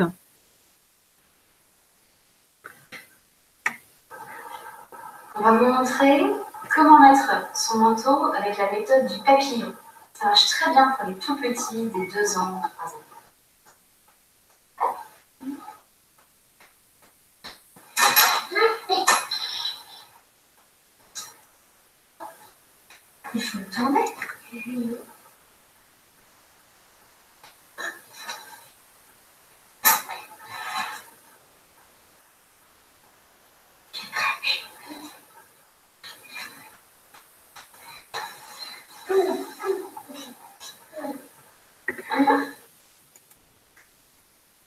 Voilà, donc vous voyez, c'est une technique extrêmement simple qui est souvent employée dans les crèches, dans les écoles, pour que les enfants mettent leur manteau tout seuls, parce que vous imaginez bien que si euh, les puéricultrices, euh, les maîtresses, etc., devaient aider 25 enfants à mettre leur manteau, ce serait le chaos absolu. Donc elles encouragent l'autonomie des enfants, c'est très bien. Mais vous pouvez le faire chez vous aussi. Et si votre enfant met ses chaussures tout seul, et s'il enfile son manteau tout seul, vous imaginez le temps que vous pouvez gagner le matin. Ah, Sandy. Alors oui, Sandy est assistante maternelle, pour ceux qui ne la connaissent pas. Donc à la maison d'assistante maternelle, on a un banc avec des bacs personnalisés pour ranger les chaussures, les chaussettes, bonnets, écharpes, etc. sous le banc. Et des patères à hauteur d'enfant pour les manteaux. Souvent, euh, c'est chez les assistantes maternelles, dans les crèches, etc., qu'on peut euh, récupérer les meilleures idées pour euh, favoriser l'autonomie des enfants. Parce qu'effectivement, vous n'avez pas de temps à perdre avec plusieurs enfants du même âge au quotidien. Alors, tout ça c'est bien beau, mais ce ne sont que des astuces. Et le gros problème pour beaucoup de mamans, c'est la gestion du matin. J'imagine que chez vous aussi, alors on en parlait pour le petit déjeuner, c'est un moment qui s'éternise. Comment faire en sorte que les enfants ne traînent pas, et fassent ce qu'ils ont à faire le matin pour que vous puissiez passer des moments de qualité avec eux? Alors, une possibilité, ça peut être de faire des listes de tâches. Alors, vous avez ici des modèles qui viennent de chez Ludocatix. Euh, je n'ai aucune action chez aucune des marques dont je parle, que ce soit Ikea, Ludocatix, euh, on parlait d'Emmaüs tout à l'heure. Euh, c'est simplement des, bons des, adresses que je vous, recommande. Et chez Ludocatix, c'est une maman qui s'est inspirée de la pédagogie Montessori et qui a créé des listes de tâches avec des aimants. Donc vous voyez à gauche ici une petite chenille pour les tout petits, où vous pouvez mettre les différentes tâches qu'ils ont à faire le matin. Ça peut être de prendre le petit déjeuner, de se coiffer, de s'habiller, etc. Pour qu'ils n'oublient rien. Vous avez ici une coccinelle pour les plus grands. On a ça à la maison d'ailleurs. On a deux coccinelles pour mes deux aînés avec la liste des tâches à faire et ensuite on fait passer les aimants dans la catégorie fait. Ou alors, un autre système ici, euh, c'est de mettre les missions du matin en haut, les missions de l'après-midi au milieu, les missions du soir en bas. Et chaque fois que la mission a été faite, on vient placer l'aimant dans la pièce où on fait l'action. Par exemple, je me lave, on vient poser l'aimant sur la baignoire. Euh, je trie mes habits sales, on vient le poser à côté de l'armoire, etc., etc. Donc tout ça, ça permet aux enfants d'être autonomes, de savoir ce qu'ils ont à faire dans quel ordre. C'est la première étape. Deuxième étape, c'est que les enfants n'ont pas la même notion du temps que nous. La notion de temporalité se construit très lentement chez les enfants. Et il faut souvent attendre 8 ou 9 ans pour que les enfants maîtrisent vraiment des notions qui nous paraissent aussi simples que hier, aujourd'hui, demain, dans une heure, il y a une heure, dans cinq minutes, etc. Donc, il faut qu'ils puissent visualiser le temps qui passe. Pour ça, il existe des minuteurs comme le Time Timer. Alors, vous avez plein de substituts. Hein. Le Time Timer est une marque, mais voyez simplement le système. C'est que c'est un minuteur visuel. Au fur et à mesure que le temps s'écoule, la zone rouge diminue et donc l'enfant voit qu'il ne lui reste plus beaucoup de temps. Euh, vous pouvez aussi trouver sur YouTube des tutoriels pour apprendre à fabriquer ce genre de choses. Si vous tapez euh, fabriquer un time timer sur YouTube, vous allez trouver des tutoriels très simples. Vous avez également des sabliers colorés qui peuvent être une excellente solution. vous pouvez dire à l'enfant, euh, il te reste 10 minutes pour t'habiller et vous retournez le sablier correspondant à 10 minutes. Et là, il voit le sable qui s'écoule et donc il a une notion très visuelle du temps qui passe. La dernière chose, qui est un point fondamental et qui vient de l'éducation positive, c'est d'adopter les conséquences naturelles. Alors, qu'est-ce que c'est que les conséquences naturelles? C'est lorsque vous laissez l'enfant assumer toutes les conséquences de ses actes. En l'ayant prévenu auparavant, évidemment. Alors, les conséquences naturelles, ça va être par exemple de réfléchir à l'ordre dans lequel vous allez demander à votre enfant de se préparer. Est-ce qu'il va s'habiller d'abord puis déjeuner ou est-ce qu'il va déjeuner puis s'habiller? Et vous pouvez tout à fait lui dire, par exemple, euh, tu dois t'habiller. Je te laisse 20 minutes pour t'habiller, c'est largement suffisant. Mais euh, il faut partir à 8 heures. À 8 heures moins le quart, je range les affaires du petit déjeuner et il n'est plus possible de se servir un petit déjeuner. Je ferme la cuisine en quelque sorte à 7h45. Un peu comme dans les hôtels où vous ne pouvez plus prendre votre petit déjeuner passé une certaine heure. Et si votre enfant arrive trop tard pour le petit déjeuner, s'il a traîné, s'il n'a pas pris le temps, eh bien, vous pouvez partir et lui donner par exemple un bout de pain dans la voiture, simplement. Euh, si jamais vous voulez faire les choses dans l'autre sens, ça peut être un peu plus difficile parce que euh, vous pouvez vous retrouver avec un enfant qui a fini son petit déjeuner mais qui est encore en pyjama. Donc là, c'est un peu plus difficile d'emmener son enfant en pyjama euh, à la crèche, à l'école ou simplement en sortie. certains parents l'ont fait, hein, c'est quand même possible. Dans ce cas-là, il faut bien expliquer à la maîtresse ou à la crèche ce qui s'est passé. Et voilà, ça peut être un peu plus embêtant. Donc, arriver à l'école en pyjama, c'est un peu délicat. En revanche, si votre enfant oublie son sac d'activité, plutôt que de le lui rappeler, plutôt que d'aller le chercher à sa place, vous pouvez le laisser participer au cours de judo sans son kimono. Ça arrive toutes les semaines au cours de judo de mon fils qu'un enfant euh, ait au moins une partie de kimono en moins. Donc ça arrive, euh, ça, ça n'ostracise pas un enfant, ça un enfant, ça ne le met pas forcément mal à l'aise, mais il va quand même comprendre qu'il a oublié quelque chose et la fois d'après, normalement, il n'y a aucun souci, il va s'en souvenir. Et il ne va pas oublier son sac d'activité. Vous pouvez, comme je le disais, euh, lui donner seulement un bout de pain dans la voiture plutôt que le bon petit déjeuner qu'il aurait pu avoir s'il s'était un peu plus dépêché pour s'habiller. Donc, laissez votre enfant découvrir les conséquences naturelles de ses actes. On répète souvent, c'est une phrase que j'aime bien, qu'un enfant qui oublie a un parent qui se souvient pour lui. Plus vous allez rappeler les choses à votre enfant, plus vous allez vous souvenir à sa place, bien moins votre enfant va avoir de raison de faire un effort pour se rappeler les choses. Et plus il va compter sur vous pour lui rappeler les choses à sa place. Alors, l'avantage des conséquences naturelles, c'est qu'on laisse l'enfant se responsabiliser. Et ça peut être des petites choses toutes bêtes. Mais par exemple, si votre enfant sort sans son manteau et qu'il fait froid, laissez-le aller jusqu'à la voiture sans lui rappeler qu'il a oublié son manteau. Normalement, s'il fait froid comme en ce moment, il va très vite réaliser qu'il a oublié son manteau et il va revenir en courant à la maison le chercher. Mais au moins, il aura fait l'effort lui-même de réaliser que, ah oui, sans manteau, la conséquence naturelle, c'est que j'ai froid.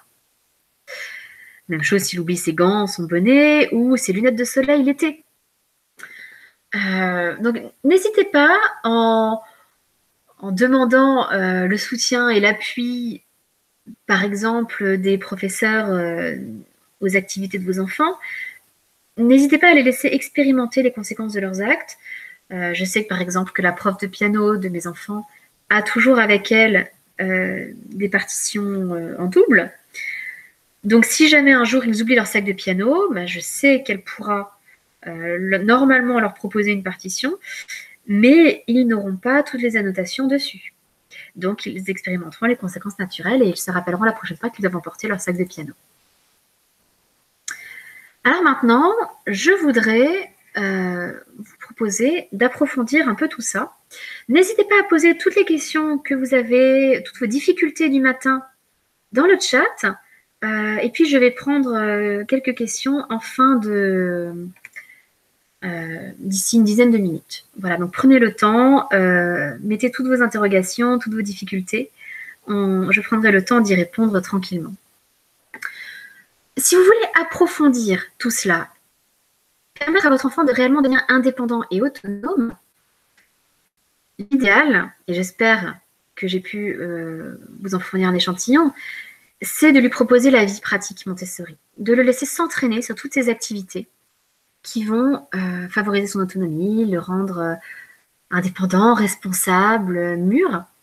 Et l'intérêt de tout ça, ce n'est pas seulement de gagner du temps ou d'arriver à l'heure, c'est que plutôt que de passer des moments horribles avec vos enfants, où vous allez être en train de servir un bol de lait à l'un d'entre eux, tout en mettant le manteau euh, d'un autre, tout en changeant la couche du bébé, etc., vous allez prendre le temps avec vos enfants de passer des moments de qualité, vous allez pouvoir vous asseoir à table avec eux au petit déjeuner et discuter.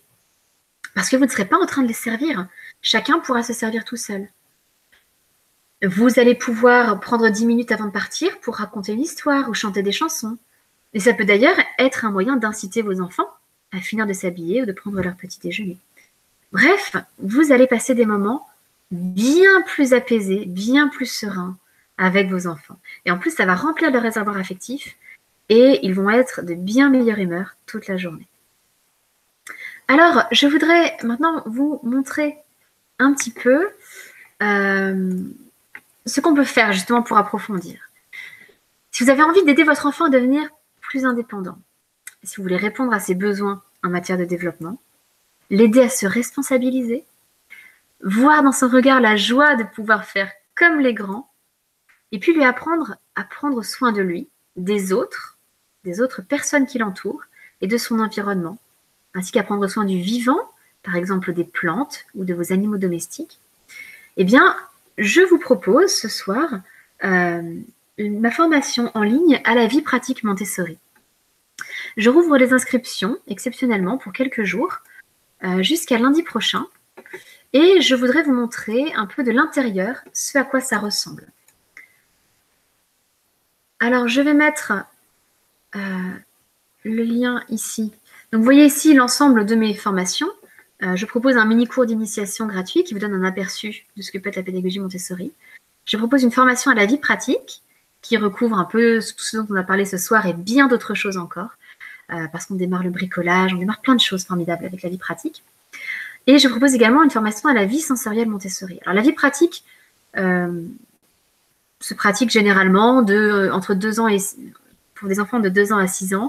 La vie sensorielle commence quelques mois après la vie pratique, donc de 2 ans et demi, concrètement 2 ans et 3 mois, euh, jusqu'à 6 ans.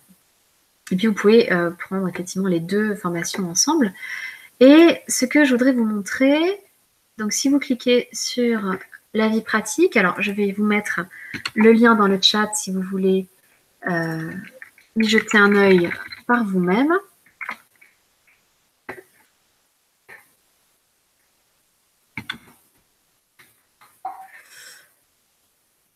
Voilà. Euh, voilà donc ce que vous allez voir. Et vous avez toute une description du cours, euh, de ce que ça peut vous apporter. Donc, fini le rush du matin, les étincelles dans les yeux de votre enfant quand il peut se verser son premier verre d'eau. On prépare énormément à l'écriture parce qu'on développe toute la motricité fine des enfants grâce à la vie pratique. On développe la pince de l'écriture, pouce index majeur. On le responsabilise également. Et puis, on fait tout le début des activités manuelles. Parce qu'avant de démarrer l'origami, la couture, il faut commencer par plier du papier, par enfiler une aiguille, découper, etc. Et puis, ce qu'on appelle la grâce et la courtoisie en Montessori, c'est extrêmement important, la courtoisie et l'attention aux autres. Alors, cette formation, euh, elle n'est pas faite pour des gens qui veulent devenir éducateurs dans une école Montessori. Le contenu Montessori est le même que pour des éducateurs. Euh, vous aurez l'intégralité des présentations Montessori qui existent en vie pratique. Simplement, je n'ai aucune compétence en gestion de classe. Ça n'est pas mon expertise, ce n'est pas mon domaine. Euh, mon domaine, c'est l'application de la pédagogie Montessori à la maison.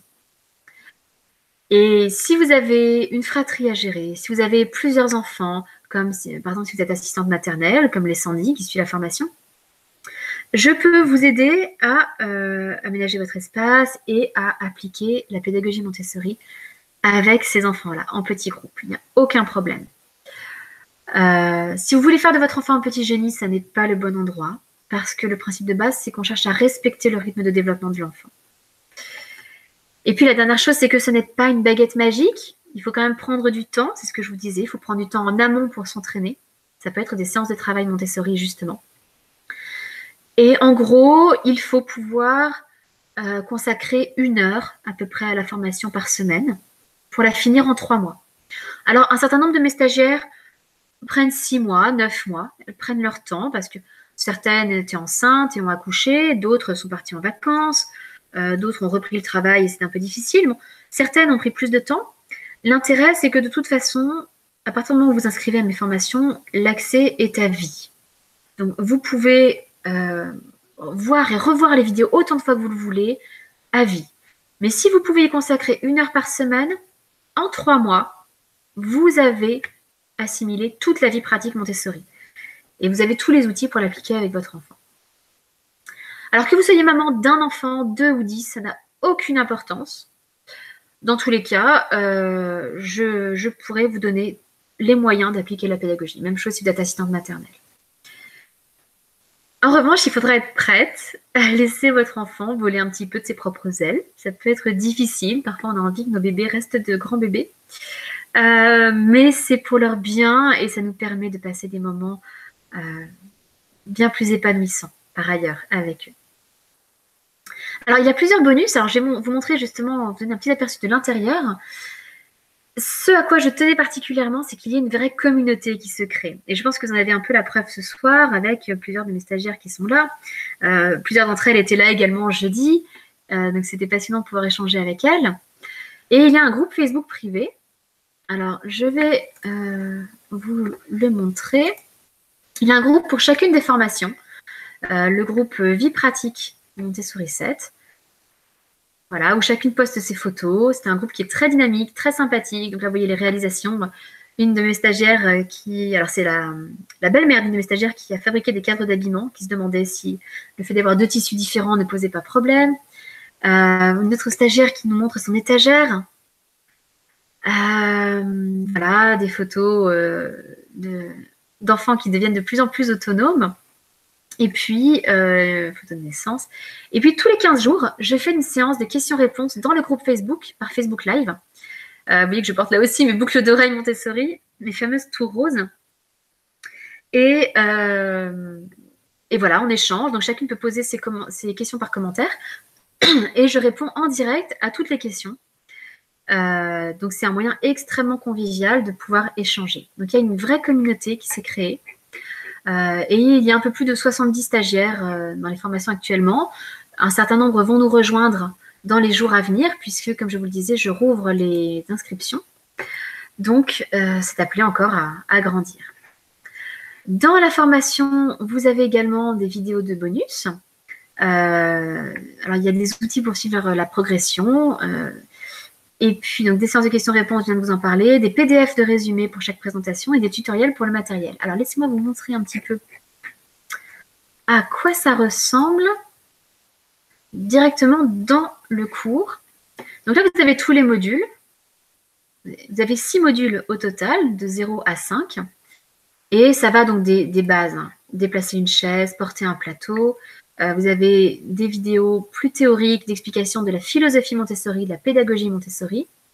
Et vous avez des téléchargements où vous pouvez par exemple regarder la biographie de Maria Montessori plutôt que de regarder toute la vidéo intégralement. Vous pouvez, une fois que vous avez vu la vidéo, relire simplement le PDF.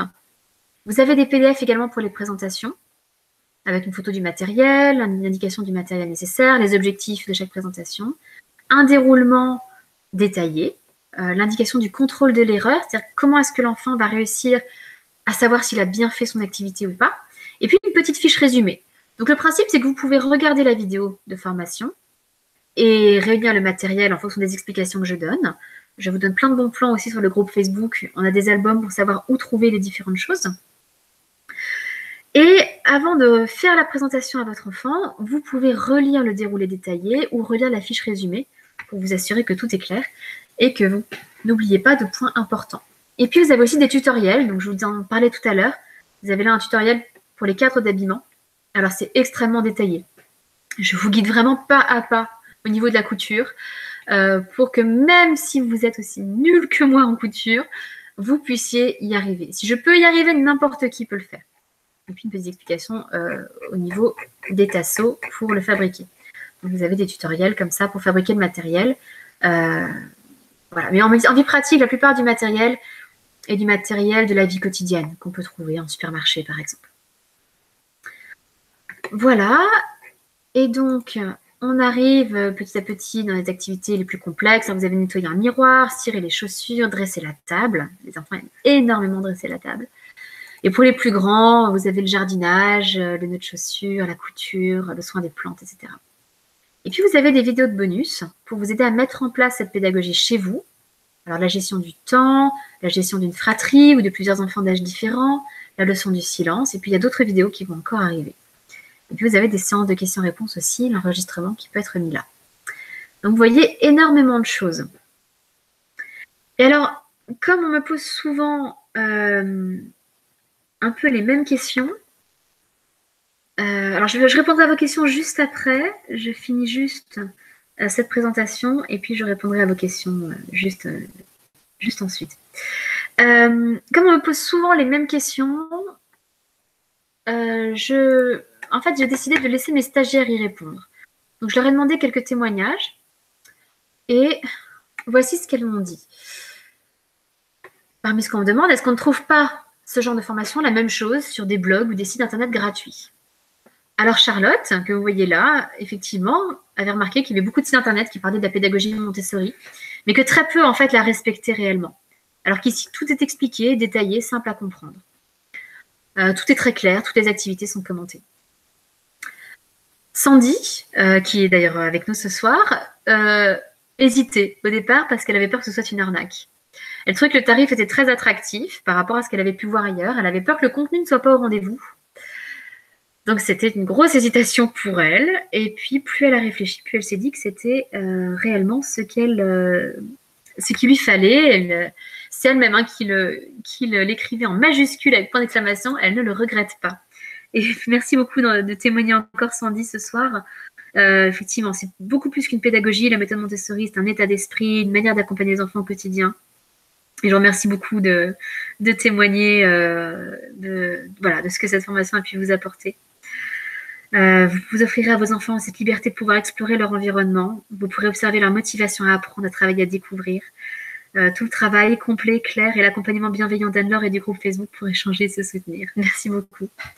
Euh, et c'est ça qui est le plus beau, c'est la joie dans les yeux des enfants quand ils, vraiment ils accomplissent ces activités. C'est formidable. Et donc Sandy, effectivement, applique cette pédagogie aussi bien avec les enfants qu'elle garde qu'avec les siens. Et alors, pour vous rassurer et pour vous permettre de tester cette formation, euh, j'offre à toutes mes stagiaires une garantie de 14 jours. C'est-à-dire que si vous n'êtes pas satisfaite de la formation, il vous suffit de m'envoyer un mail dans les 14 jours et je vous rembourse intégralement. Je vous pose, je vous demanderai peut-être euh, ce qui vous a déplu pour pouvoir améliorer la formation, mais sans aucun, sans, sans aucune autre condition. Il vous suffit d'envoyer un mail et vous êtes remboursé.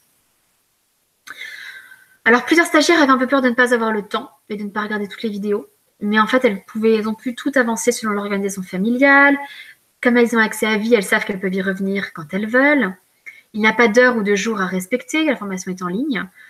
Euh, donc Léa disait très gentiment qu'Anne-Laure est une personne à l'écoute, on se sent écouté et aiguillé, un vrai plaisir. Euh, vous avez donc le temps. Vous pouvez le faire rapidement ou prendre votre temps. Plusieurs de mes stagiaires avaient peur de sauter le pas et de commencer à présenter des activités à leurs enfants. Florence était un peu perdue dans ses lectures. Euh, elle avait beaucoup lu des livres sur, la pédagogie Montessori, mais elle n'osait pas se lancer. Et euh, voilà, grâce à cette formation, elle a pu vraiment comprendre la pédagogie et se lancer avec ses enfants. Euh, Laure aussi a compris la logique des Maria Montessori, le comportement à adopter, c'était une aide concrète pour les activités. Et elle y a seulement consacré 10 minutes par jour. Et petit à petit, euh, en trois mois, elle a pu finir cette formation. Et elle a le sentiment d'un immense retour sur investissement. Ça fait vraiment plaisir à entendre. Alors, certains disent que rien ne vaut les formations en présentiel. Est-ce que euh, cette formation ne serait pas moins complète que dans un centre de formation? Alors, Mathilde, qui s'est formée euh, à la pédagogie Montessori dans un centre de formation, justement, a, a, rejoint également la formation et ça a été une, une excellente piqûre de rappel pour elle parce qu'elle pratique l'instruction en famille avec ses quatre enfants et elle pratiquait depuis déjà plusieurs années. Euh, mais elle voyait beaucoup d'articles sur la toile qui étaient dits montessoriens, qui ne concernaient que le matériel. Et ce qu'elle a aimé dans cette formation, c'est justement, euh, au-delà du matériel, l'ambiance et l'atmosphère particulière de la pédagogie et l'accompagnement pratique derrière, euh, les conseils sur la mise en place chez soi. Et alors qu'elle-même était formée ailleurs, elle, elle vous dit que c'est un des seuls endroits où elle a eu autant d'explications sur les raisons des actions à mener. C'est vraiment une chose à laquelle je tiens, c'est d'expliquer le sens des gestes que l'on fait. On a parfois l'impression que ça peut être très rigoureux ou figé, une présentation Montessori. Le tout est de comprendre le sens de ce que l'on fait et après, on peut prendre plus de liberté, sans problème.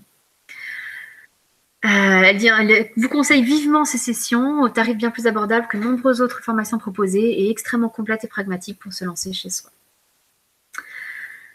Et puis, alors vous, le savez, la pédagogie Montessori est à la mode, c'est une, une tendance. Et il y a des gens, comme pour tout, qui cherchent à se faire de l'argent sur le dos de Maria Montessori. Et je peux le comprendre, c'est une inquiétude de beaucoup de personnes en voyant ces formations, de se dire est-ce que ce n'est pas quelqu'un qui veut faire un coup marketing et euh, se faire de l'argent facilement? Alors, il faut que je vous dise qu'avant euh, de proposer ces formations, j'étais traductrice, j'avais un métier confortable, euh, qui me permettait de bien gagner ma vie tout en pratiquant l'instruction en famille avec mes enfants, en choisissant mes horaires. Et c'était très agréable. Mais la pédagogie Montessori est une réelle passion pour moi. Et j'avais envie de, vivre plus en cohérence euh, avec mes valeurs profondes. Pour moi, l'éducation est quelque chose de fondamental, d'indispensable, et euh, je souhaitais m'y consacrer davantage. Donc j'ai accepté de diviser mon salaire par trois en multipliant mes heures de travail par deux pour pouvoir proposer ces formations et développer, diffuser l'accès à la pédagogie Montessori. Donc rassurez-vous, euh, ça n'est pas pour moi une, euh, une façon de faire de l'argent ou une poule aux œufs d'or. C'est surtout, avant tout, une joie de vous aider à appliquer la pédagogie chez vous avec vos enfants. Euh, ma plus grande joie, c'est de lire des témoignages comme cela, vraiment, et d'échanger sur le groupe Facebook de la formation, qui est absolument merveilleux. Les stagiaires sont fantastiques. Euh, donc ça, c'est ma plus grande joie, et de me dire que la pédagogie Montessori se diffuse de plus en plus. Alors, comme je vous l'ai montré tout à l'heure, je propose également une formation à la vie sensorielle Montessori. Euh, donc, vous pouvez cliquer sur tous les cours si vous voulez voir les différents cours que je propose. Et la vie sensorielle Montessori permet différentes choses. Elle permet à l'enfant en fait de raffiner ses perceptions sensorielles, euh, de découvrir les couleurs, les odeurs, les saveurs, tout le monde qui l'entoure.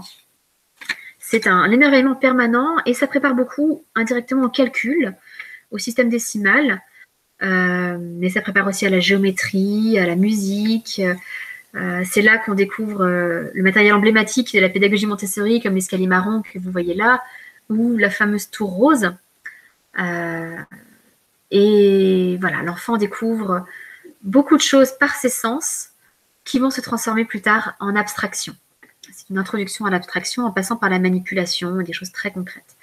Et donc, je vous propose une offre un peu spéciale ce soir. Vous voyez que je propose un pack vie pratique et vie sensorielle. Si vous cliquez sur la formation vie pratique, vous pouvez le voir également ici, le pack vie pratique plus vie sensorielle. Et alors, pour toutes celles qui s'inscriront au pack vie pratique et vie sensorielle, avec un paiement en une fois ou en trois fois, parce qu'on m'a beaucoup demandé la possibilité de payer en trois fois, donc je la propose, euh, maintenant. Ce que je vous propose ce soir, exclusivement, euh, et ce sera valable pour toutes celles qui s'inscrivent avant minuit ce soir. Toutes celles qui s'inscriront à la vie pratique et à la vie sensorielle pourront bénéficier d'un coaching privé de 30 minutes par Skype ou par téléphone. C'est la première fois que je propose ça. Euh, je ne suis pas sûre de le reproposer à l'avenir. Euh, parce que ça prend du temps. Euh, et donc, si, voilà, suivant la demande, je ne, suis, je ne suis pas sûre de pouvoir le reproposer plus tard. Et l'idée, c'est que ma formation répond à toutes les questions principales que vous pouvez vous poser, mais chacune a une situation familiale, a une, un logement particulier et euh, des contraintes particulières. Et donc, vous avez peut-être besoin de pouvoir adapter cette pédagogie à votre euh, logement, à euh, vos contraintes horaires, à vos problèmes peut-être dans la fratrie, peut-être qu'il y a des jalousies, donc des, choses un peu plus difficiles à gérer. peut-être que vos enfants ont des difficultés particulières également. Et sinon, le, par ce coaching, on pourra euh, adapter les choses un peu aux circonstances. Alors pour celles qui se sont déjà inscrites sur les deux formations, en fait j'ai déjà appelé, euh, j'essaie d'appeler régulièrement euh, les, mes premières stagiaires justement, celles qui m'ont fait confiance dès le départ. alors je n'ai pas encore fait le tour de tout le monde, mais c'est prévu, Bénédicte, c'est prévu, avec un peu de patience. Voilà. Donc, euh, j'ai déjà été au téléphone, par exemple, avec Sandy. Euh, j'ai déjà été au téléphone avec euh, un certain nombre de mes stagiaires. Et ça, arrive petit à petit. Et donc, vous pouvez choisir de, de prévoir plutôt un moment de coaching au départ pour vous lancer, pour avoir la motivation, ou au contraire plus tard si vous avez des difficultés. Alors, je vais maintenant répondre aux questions, vous laisser un peu le temps de, de voir tout ça. Et puis donc, vous pouvez euh, retrouver le lien de la formation un peu plus haut dans le chat. Je vais le remettre que vous n'ayez pas à remonter. Euh, alors. Euh, j'imagine. Là, je vous le remets dans le chat. Et je vais revenir je vais quitter le partage d'écran pour revenir en caméra pour répondre à vos questions. Alors, ah. voilà. Donc, je vais reprendre un petit peu les questions qui étaient posées dans le chat. Euh, alors, Sandy aime beaucoup l'idée du petit déjeuner style hôtel. elle comprend les tourderies de sa fille, effectivement. Euh, Naeva, ma fille ne se coiffe pas le matin, comme elle en a la consigne, et part souvent à l'école sans avoir les cheveux coiffés et attachés. La conséquence, c'est les poux, mais elle n'en souffre pas vraiment. Alors, effectivement, la difficulté avec les conséquences naturelles, c'est qu'il faut trouver euh, ce qui va réellement avoir de l'importance pour, pour vos enfants. Donc là, pour votre fille, ça n'a aucune importance d'aller à l'école pas coiffée. En revanche, là, vous pouvez adopter une conséquence qui ne soit pas naturelle, qui soit une conséquence un peu artificielle, une conséquence que vous vous fixez. Et vous pouvez lui dire, par exemple, alors je ne sais pas si elle prend son petit déjeuner avant ou après s'être coiffée. Euh, vous pouvez éventuellement me donner plus de détails dans le chat. On pourra échanger encore plus, euh, plus facilement. C'est comme ça qu'on fait d'ailleurs dans les séances de questions-réponses avec nos stagiaires, c'est qu'on échange, je donne plus de détails, euh, je tâche de répondre, et puis d'autres stagiaires interviennent aussi pour donner leurs propres conseils. Donc c'est un, échange qui est souvent passionnant. Parce que Naïva, si jamais elle, elle prend son petit déjeuner après s'être habillée et s'être préparée, vous pouvez très bien lui dire, bah, tu pourras prendre ton petit déjeuner une fois que tu seras coiffé, par exemple. Mais il faut aussi bien lui apprendre avant à se coiffer et voir, euh, voilà, lui, laisser le temps, euh, lui laisser la disponibilité de, se coiffer tranquillement. Alors, parce que je coupe le son pour le chat. Donc là, à vous de mettre une conséquence euh, logique derrière.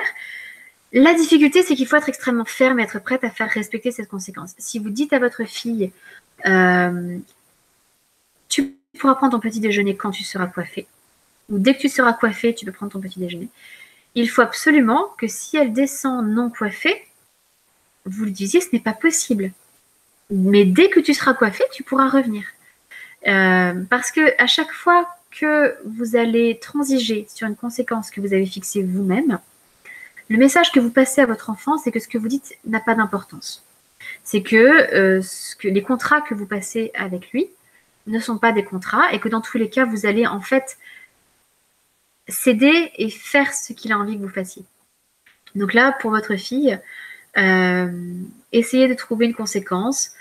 Euh, alors, il y a la possibilité de faire le petit déjeuner après. Une autre possibilité, ça peut être de lui dire euh, quand tu seras coiffé, tu peux venir euh, me retrouver dans le salon. Et euh, en fonction du temps qui nous restera avant de partir, on pourra lire une histoire, chanter des chansons, danser, faire des jeux, enfin, passer un super moment ensemble. Et si elle traîne pour se coiffer et se coiffe au dernier moment, ou que c'est vous qui devez, qui devez la coiffer, eh bien à ce moment-là, elle a perdu ce moment de qualité avec vous. Et il faut bien être conscient qu'à ces âges-là, donc je, parle beaucoup des enfants là qui ont entre 2 et 6 ans, même si évidemment ça c'est valable aussi pour, euh, pour les enfants plus tard, et que euh, ça commence à être vrai aussi pour les enfants de 18 mois. Mais bon, il faut quand même euh, être plus patient et plus indulgent encore avec eux. L'un des besoins principaux des enfants à cet âge-là, c'est de passer du temps avec nous, leurs parents, leurs mamans surtout. Ils ont un besoin d'affection qui est énorme. Et donc, si vous pouvez passer des moments de qualité avec eux, euh, ils vont être prêts à, se préparer beaucoup plus vite le matin euh, pour, euh, pour passer ces moments avec vous. Alors, Naëva, j'espère que ça répond à votre question. Sinon, n'hésitez pas à compléter. Ah, pardon. Le petit déjeuner intervient avant, la coiffure, c'est la dernière étape. Eh bien, essayez peut-être d'anticiper de 10 minutes, de tout avancer de 10 minutes et d'essayer de, voilà, de prendre ces 10 minutes avec elle dans la voiture. Euh, avant, pardon, avant de, avant de partir, désolée. Et voir si ça peut la motiver à se coiffer. Alors, euh,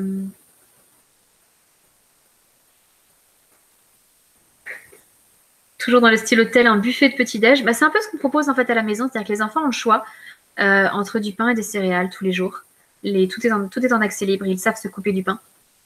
Euh, ils, savent se servir des céréales. Ils savent se verser du lait, se verser du jus d'orange. Euh, voilà, tartiner du miel, du beurre, de la confiture, tout ce qu'il faut sur le pain. Euh, et effectivement, du coup, ils ont, un mini buffet de, petit déjeuner façon hôtel, en quelque sorte.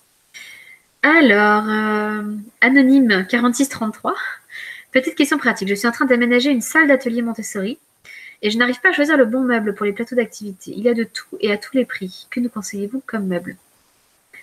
Il y a le style IKEA Kallax avec un plateau par case ou bibliothèque, deux ou trois plateaux par étage. Alors, honnêtement, je ne vous recommande pas le système IKEA Kallax avec un plateau par case.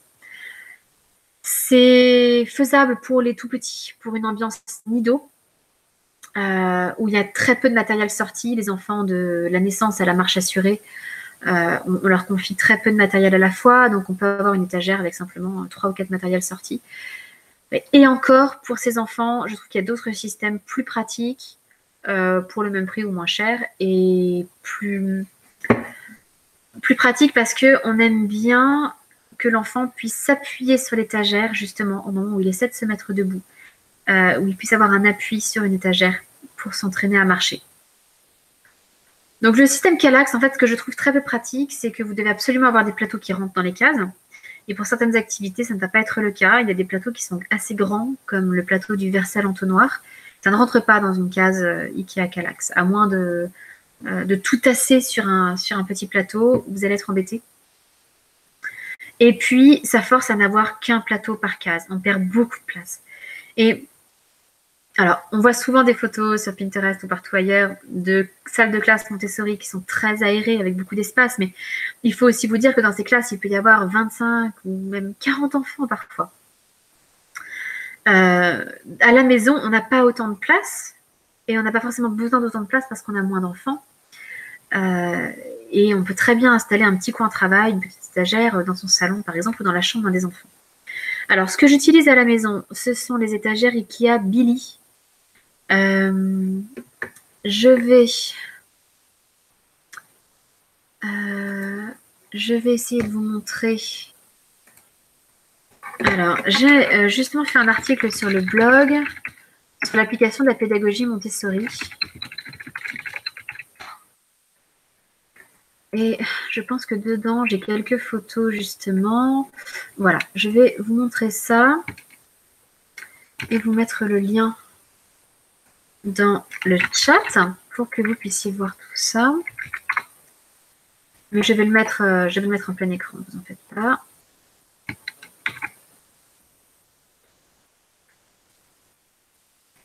Ah oui, et Sandy, euh, merci effectivement de, répondre euh, parce que vous avez les, deux cas, effectivement.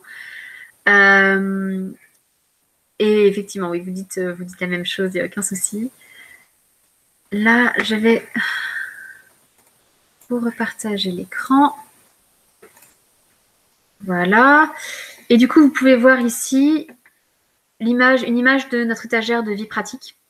Euh, alors, suivant les périodes, suivant le, nombre d'enfants que j'avais qui euh, pratiquaient encore la vie pratique, euh, j'ai pu utiliser jusqu'à deux bibliothèques Billy comme celle-ci.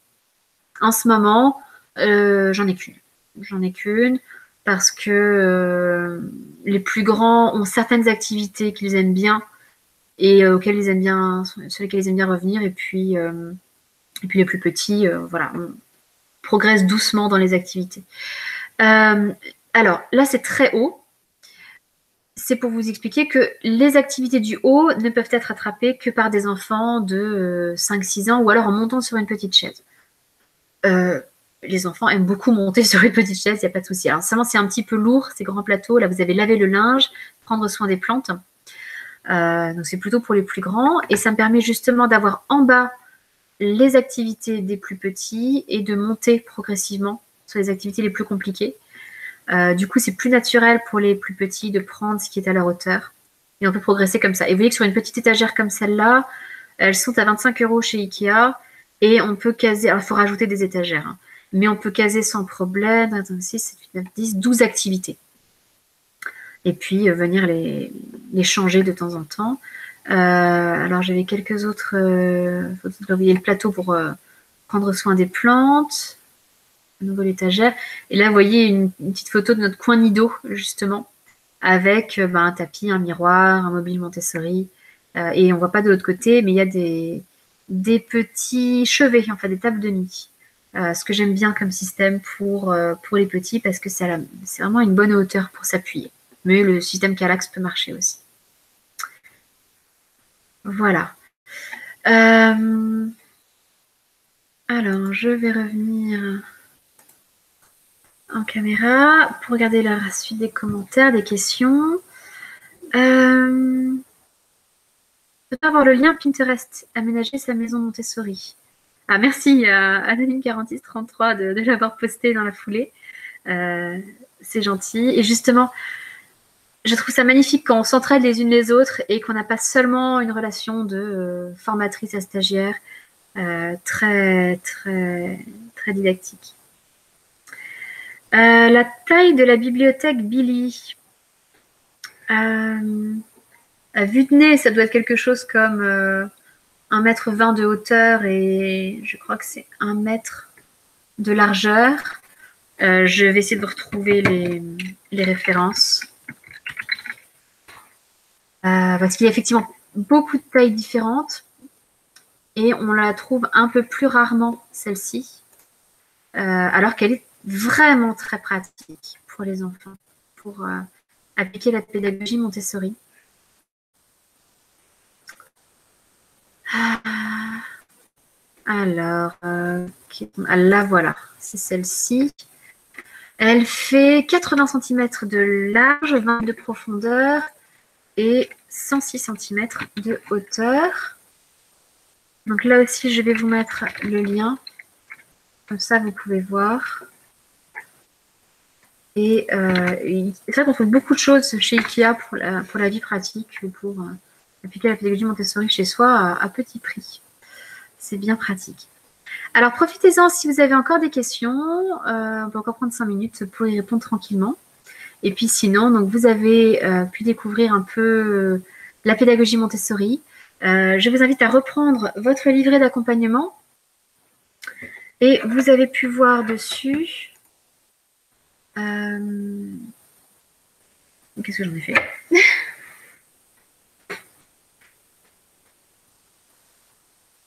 Je l'avais dans les mains tout à l'heure, donc c'est pas grave.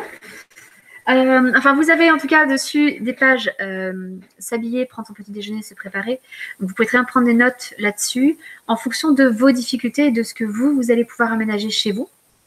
Et puis, vous avez à la fin votre nouveau projet de routine du matin. Parce que forcément, vous allez devoir adapter les choses, prévoir plus de temps pour que les enfants se préparent tout seuls. Donc, ça ne veut pas forcément dire que vous, vous allez vous lever plus tôt mais ça veut dire que euh, peut-être qu'il faudra leur demander de s'habiller 10 minutes plus tôt pour leur laisser le temps et ne pas avoir à les presser. Parce que plus on presse les enfants, plus ils se paralysent et plus ils sont incapables de, faire ce qu'ils sont en train de faire. Donc prenez le temps le matin, soyez détendus et puis euh, les choses seront beaucoup plus simples. Et cette routine, ce n'est qu'une base. Vous allez bien évidemment continuer à observer. Vous vous rappelez ce processus Montessori euh, vous avez trouvé des solutions, vous avez pris un temps d'entraînement avec votre enfant, par exemple en utilisant le matériel Montessori qui est excellent pour ça. Vous avez une nouvelle routine et vous allez observer ce qui fonctionne, ce qui ne fonctionne pas, trouver des solutions, etc. Et ce que je vous invite à faire, c'est qu'à chaque fois que vous avez un problème, rappelez-vous que Google est votre ami. Euh, aujourd'hui, c'est qu'on a quand même des ressources extraordinaires euh, parce qu'il y a toutes sortes de, énormément de mamans qui partagent tout ce qu'elles font sur Internet. Et si vous avez une difficulté, comme par exemple, euh, comment aider mon enfant à distinguer la chaussure gauche de la chaussure droite, tapez-le sur Google et vous allez être surprise de voir que vous avez trouvé des solutions. Donc le plus difficile, ça n'est pas de trouver des solutions à, des problèmes précis. Ça va être d'isoler les problèmes que vous avez et même les sous-problèmes que vous avez.